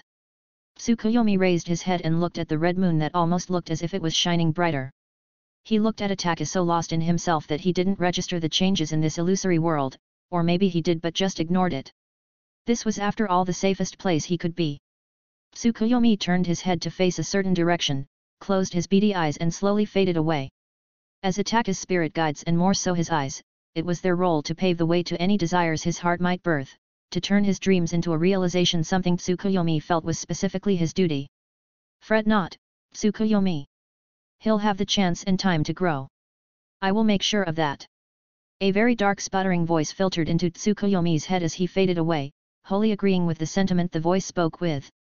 Pulling himself from his thoughts, Itachi looked around and found that Tsukuyomi was gone. The gigantic crow always knew the best time to be present or to leave, something Itachi never had the thought to comment on. Opening wide his palms, the crows around him started cawing loudly and a few flew towards his hands and lost their tangible form, leaving only the inky black smoke that swirled above his palms and soon started stretching to the shape of a sword. Even if it looked like it had no solid body, Itachi held it as such as it felt as such. He threw it to the ground and the shadowy blade sank over 2-3 RDS into the ground. Simple genjutsu won't cut it at this point anymore. My illusions can grow even more. He said. Using Tsukuyomi to his fullest potential. It will take some time but I can make it work. Bankai could wait, he told himself as the red world started fading away. As a Zanpakuto, Tsukuyomi's Shikai didn't have much in terms of firepower but that was okay with Itachi. With enough control and training, he reckoned he'd have a very high level grasp of his illusions and breaking out of them would be harder as well. Standing up, Itachi looked at the blade in his hands before strapping it to his waist. He wanted to leave but paused as his mind went to the training workaholic young man, Junpei, who he hadn't seen for some days now. Chapter 48, Chapter 47, A Tactical Retreat Itachi's days as a Shinigami passed slowly with the most part of it being uneventful. Without the need to eat or sleep, and no mission assigned for a long stretching period of time, Shinigami found themselves bored most of the time but it was how they utilized this boring time that created the difference between Shinigami. The Gotei 13 was lax in its rules when it came to how Shinigami lived their lives, and as long as they didn't break any set-down rules nobody cared how they spent their time away from their Shinigami duties. For Itachi, it was falling into a routine he had never done for years, training proficiency in his abilities. As a natural genius, he had mastered everything he needed to be an extremely skilled shinobi at a very young age. Since he found himself with nothing to do through the majority of his time, unless when he was either with a captain or with Yoruichi and Soi-Fon, he spent most of his time in learning ways his Shikai could be further utilized. After his conversation with Tsukuyomi a while back about the true nature of his Zanpakuto, Itachi forced himself to stop thinking about his illusions as simple metal mirages. In his mindscape, he noticed that both he and Tsukuyomi could make illusions into real and tangible things. He breathed in softly and swung his sword lazily at an empty space yet his eyes was squinting in focus on a marked tree off to the side. Am I overreaching or am I truly not at that level yet? He thought with a frown. At that moment, a voice interrupted his silent pondering. If you want to cut the tree, you should swing your sword at it, don't you think? Turning to the direction of the voice, he saw a pink-haired child in standard Shinigami attire freely swinging her legs off the tree branch she sat on. How did she get here? He thought as he observed her. A lieutenant armband, I see. Ano, you were trying to cut something right? Kenny also likes to cut things too. Her voice, her mannerisms, and her exuberant emotions in a carefree display gave Itachi the opinion of her being a normal happy-go-lucky child, but one could never know when it came to souls. Lieutenant Yachiru, Itachi started slowly, gauging her reaction that remained genuinely carefree, are you by chance looking for me? He remembered a far-off warning Yoruichi gave him about the pink et in front of him. Oh no I'm not the one looking for you, Kenny is.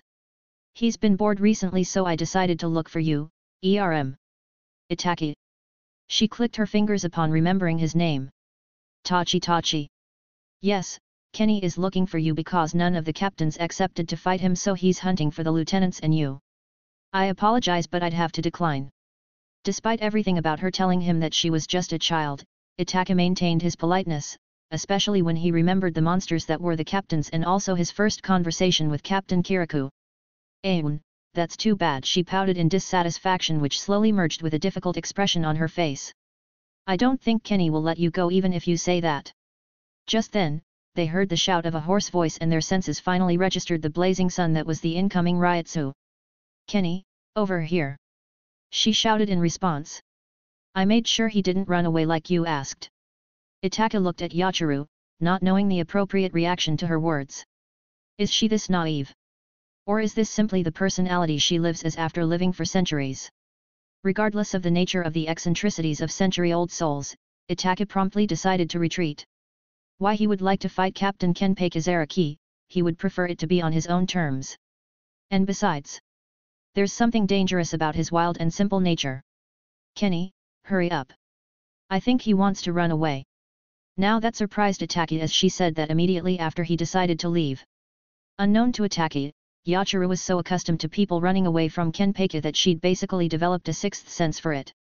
Feeling the incoming spike of Reiatsu that somehow gave Itachi the illusion of crashing waves, Itachi knew that it was time to retreat. His physical strength is immense. He noted when he finally saw Kenpachi running at him with a mad grin, his feet leaving cracks on the ground with every step he took. No technique. No Reiatsu utilization. The haphazard nature of the captain's Reiatsu gave the initial impression of an amateur to any trained eye. Apart from his captain-level Reiatsu, which was one of the greatest in the Seireitei, nothing about Kenpachi showed proof of him deserving the position he held, but that just made him all the more dangerous in Itachi's eyes. Brat, we meet again. Let's fight. Kenpachi shouted with a manic grin as he drew close to Itachi, his sword already stretched backwards for a powerful swing. I'm afraid I'll have to respectfully decline, Captain Zaraki. Itachi's body began breaking apart into crows but Kenpachi could care less as his sword cleaved through Itachi. To his confusion and eventual annoyance, Itachi's body burst into a murder of crows as soon as Kenpachi's sword touched him. What the hell is this, Yachiru? Where did he go? Kenpachi asked the little girl that was now hanging off his shoulders. Oh no, he ran away Kenny. Why does everyone keep running away from us when Kenny just wants to fight? She sounded genuinely sad, which she was, upon seeing Kenpachi losing another prospective opponent, worse being one that could actually fight against captains according to some of the captains. Kenpachi snorted. His annoyance was slowly bleeding away as Shinigami running away from him at the mention of a fight was a common occurrence. Don't worry, Kenny, I'll find him again. Let's go and meet Boobies since he's from her division. She said, referring to Yoruichi as she did so. Kenpachi grunted, willingly going ahead with anything she said. What about the one from the 12th? Captain Shaggy? Tomu, we can also check if he's free to play with Kenny. She nodded to herself at how much sense her words made, fingers pointing forward as she stood balanced on Ken Kenpachi's shoulder without leaning on his head, onwards, Kenny. Since his training was abruptly disturbed by Lieutenant Yachiru and her berserker of a captain, Itachi didn't return to the barracks of the second in case they went and looked for him there. Knowing Yoruichi, even as little as he did, he knew for certain that she'd happily blurt out his location without hesitation should they go to her looking for him. Unfortunately for him, apart from the barracks of the second, Captain Kiriko's courtyard and the tranquility of Captain Unohana's 4th Division, he had no personal safe space to hide inside the Seireitei. At the end of it, he decided to walk through the roads of the Gotei 13 inconspicuously to escape the wild captain and also let his mind wander on his recent failure in trying to utilize his illusionary abilities in an unconventional way. During his walk, he saw a group of Shinigami leading a larger group of students from the Shino Academy and from the discussion the excited students were having among themselves, it seemed like a combat-related activity. He remembered Junpei and the youth's dream to join the academy and become a Shinigami and remembering that another entrance exam was around the corner, he decided to follow them and watch what they did to pass the time. Entering unimpeded inside the vicinity of the academy, he arrived at a training field where a bunch of students were gathered, a zanpakuto strapped to everyone's waist. Some of them had unlocked their shikai, and based on the way they were grouped, whatever activity they were about to do wasn't based solely on their zanpakuto.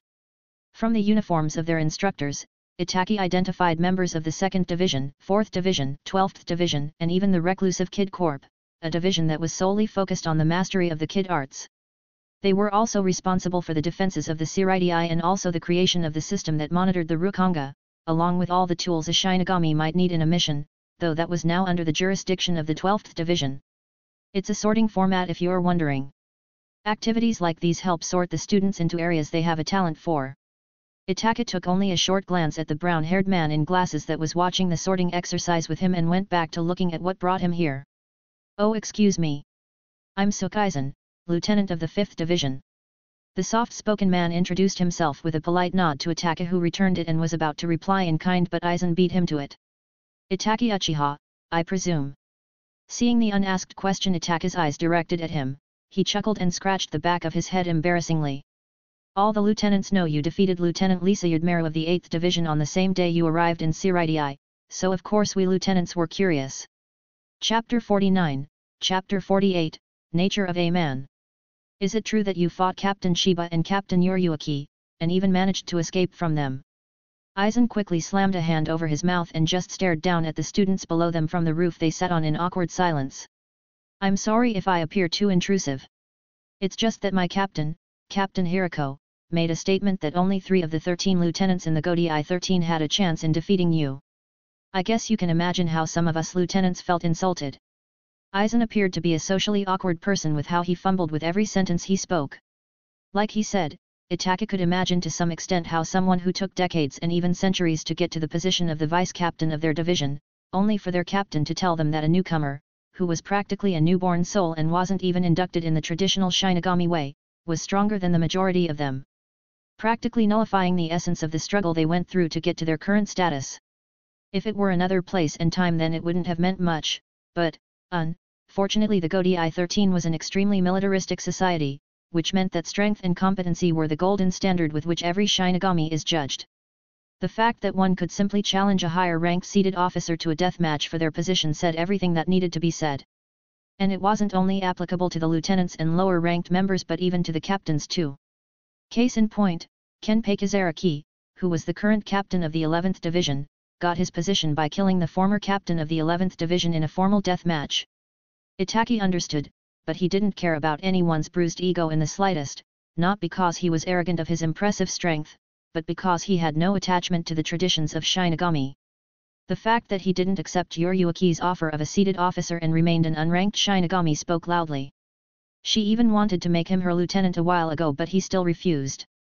That was also when he realized that Soi Fon wasn't actually the lieutenant of the 2nd Division but instead was Yoruichi's bodyguard and a member of the executive militia, who were basically the Shinigami police and disciplinary body. Seeing Itachi not saying anything, Aizen spoke up to clarify any misunderstanding Itachi might be having. I'm not saying I have a grudge against you or anything of that immature topic, I'm just genuinely curious is all. His voice went down a bar, with a hint of self-mockery mixed in. Even as a lieutenant, my strength is barely above that of the average Shinigami. Having a degree of animosity towards you for being stronger than me will be the extreme height of foolishness and hypocrisy for me. The nature of every living being, and life in general, is that no one is equal to another. Some are talented, some are not. Some push forward with hard work, while others remain content with stagnation. Talent trumps hard work and vice versa, true, but nothing trumps talent with hard work.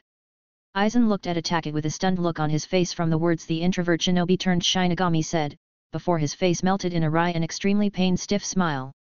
I don't know whether those words were meant to serve as comfort or ridicule to me. Neither. It's the truth, or at least what I believe to be one.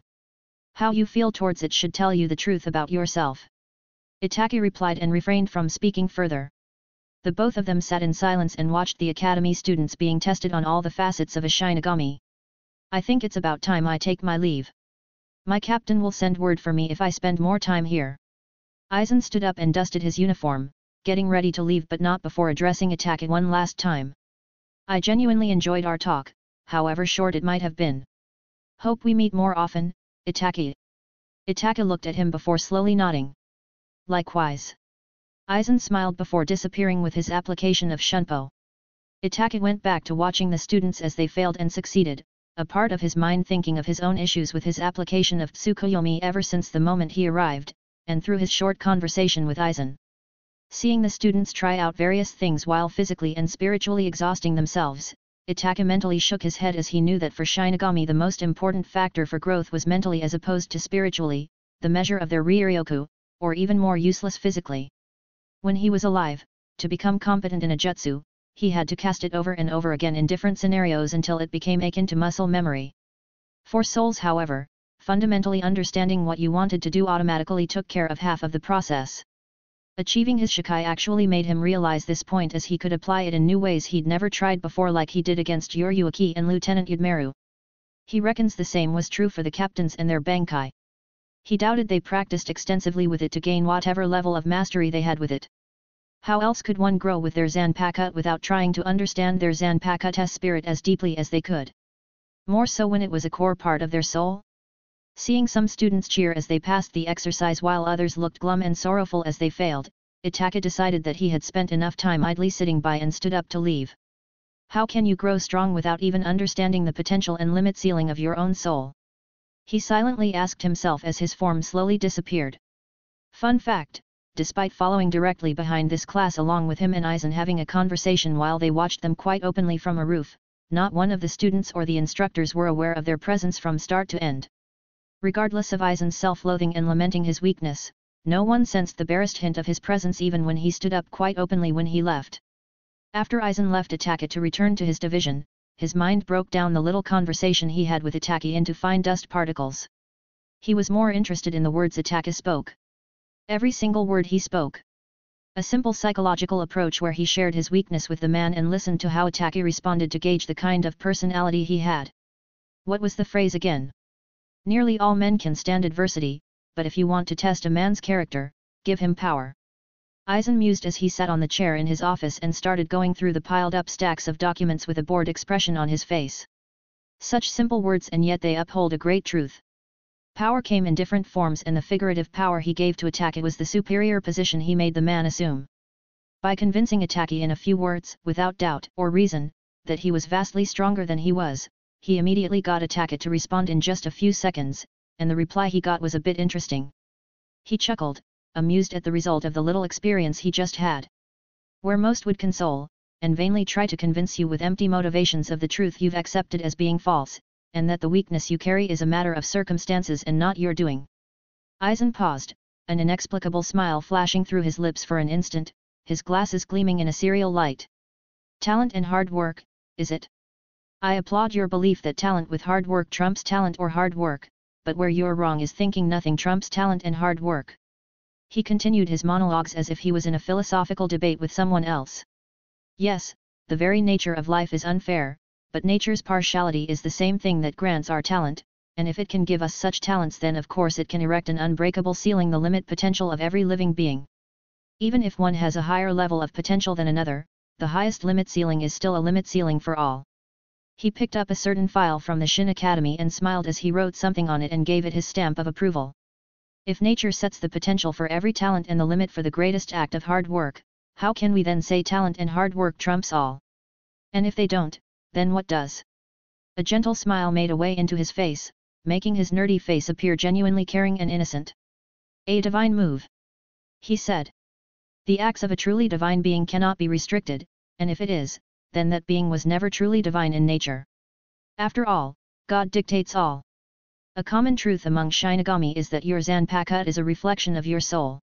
The true essence and core of your spiritual being. If this was a universal truth as Shinigami believed it to be, then what did that say about certain Shinigami and their Zanpakuto spirits? What did that say about people like Yamamoto, Kenpachi, and Kisuke Urahara? What does it then mean when it concerns people like Aizen and Itachi, and the true nature of their Zanpakuto spirit? Chapter 50, Chapter 49, Day of Admission Under the night sky, in the middle of the forest sat a small flickering flame that crackled as it ate away at the wooden fuel thrown at it from time to time, and behind it sat two men, Itachi and Junpei. After the last time Itachi visited the youth, almost two weeks had passed before Junpei saw him again. To his credit, Junpei was sensible to understand that Itachi couldn't always come and teach him when he probably had other Shinigami duties to attend to.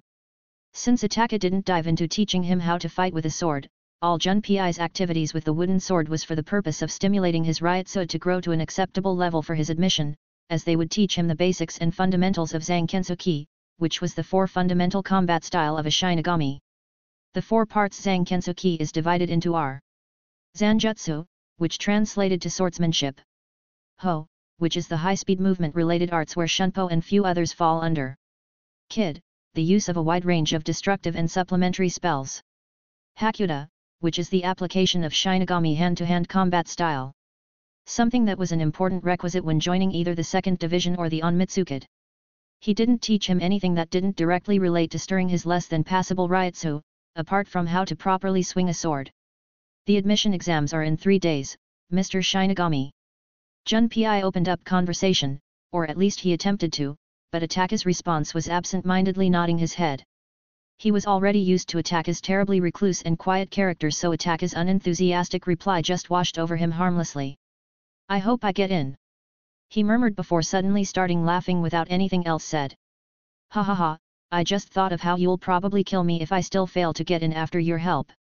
Unlike what he expected of his joke to be ignored, Itachi replied him with his eyes focused on the small burning flame that he was feeding with small pieces of wood. If you end up failing then that's either your limit or you didn't try hard enough. As for not trying hard enough, there's still more exams to come so you still have ample time to prepare. Whatever Junpei had been about to say before Itachi started speaking immediately died down to silence as he listened with rapt attention to whatever the ever-serious Mr. Shinigami had to say about him. It feels weird to plan for failure. He didn't know how to feel when Itachi's words felt like they were basically comforting him in advance in the likely event of him failing. Itachi raised his head to look at Junpei who shifted slightly under his black-eyed gaze. You don't plan for failure but instead accept it as a highly probable possibility with every choice you make. Damn, that sounds hardcore. Junpei remarked almost patronizingly. Anyone ever tell you that you make a great voice of reason, Mr. Shinigami? Itachi hands stopped mid-motion in feeding the excited flame more wood. It was the first time Junpei saw the resemblance of the closest thing to a forlorn look he'd ever seen on Itachi's face. Yeah, someone did. A deceptively long time ago.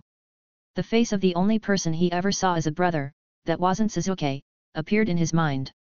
It wasn't a secret to anyone that knew both of them that Itachi saw his best friend as his own older brother. A voice of reason. He was always the better voice of reason between the both of us. Um. I'm sorry. Itachi raised a brow at Junpei, wondering what prompted the sudden apology. You looked like you were remembering something unpleasant. Like a bad nightmare or something. Horror. What? You can wake up from a nightmare and even forget it with enough time. Mine is no simple thing like a nightmare. True horror that sticks to you like a soul stain, even after death.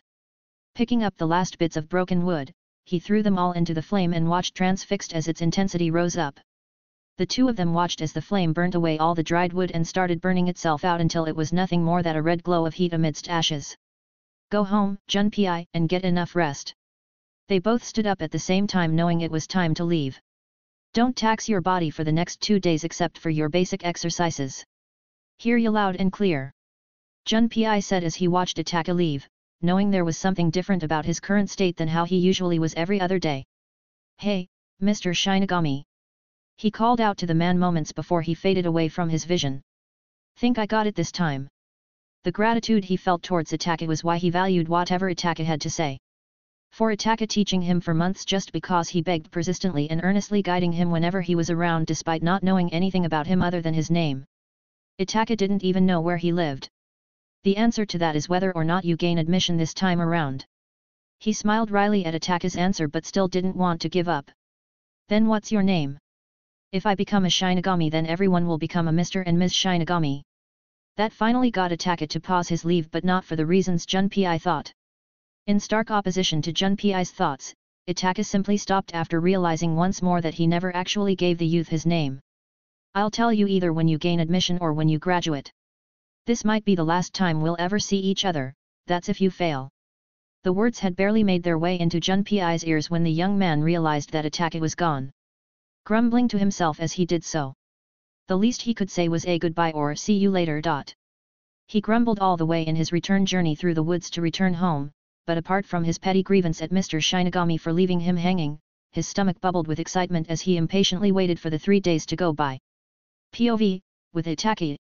Itachi and Soi Fon followed behind Yoruichi as she led them in the direction of the Shine clan, one of the five great noble families. She could have simply ordered a precession in a palanquin instead of going there on foot but she digressed. She'd long grown out of the stuffy noble etiquette and only showed it when absolutely necessary, which was only when she was in a meeting with the other family heads. And besides, who could argue that this wasn't faster, better and overall efficient than having her sitting in a stuffy tent carried by a bunch of slow muscular guys through the sizable distance that takes an hour or two on foot. Make sure to stay by my side at all times when we get there. Soi Fon said, somewhat surprised when Itachi didn't ask any of his usual questions and just silently accepted everything with a nod. Of course Itachi would know what to do given that he was also at some point the heir to one of the oldest clans in history. Until he destroyed it with his own hands, that is. Yoruichi took a subtle glance behind her, a bit surprised too that his curious, and paranoid, nature didn't make a show of 20 questions. We're almost there. Don't worry as you'll be staying in my sight at all times. She said it more for Itachi's benefit than Soi Fon as her bodyguard was used to settings like these practically since she learned how to walk. That reminds me, today is the admission exam into the Shino Academy. Marino Shin better remember to file a report on all the new and promising admission. She said to herself, fully aware of how easily the 2nd Division Lieutenant forgot himself to his slothful vice.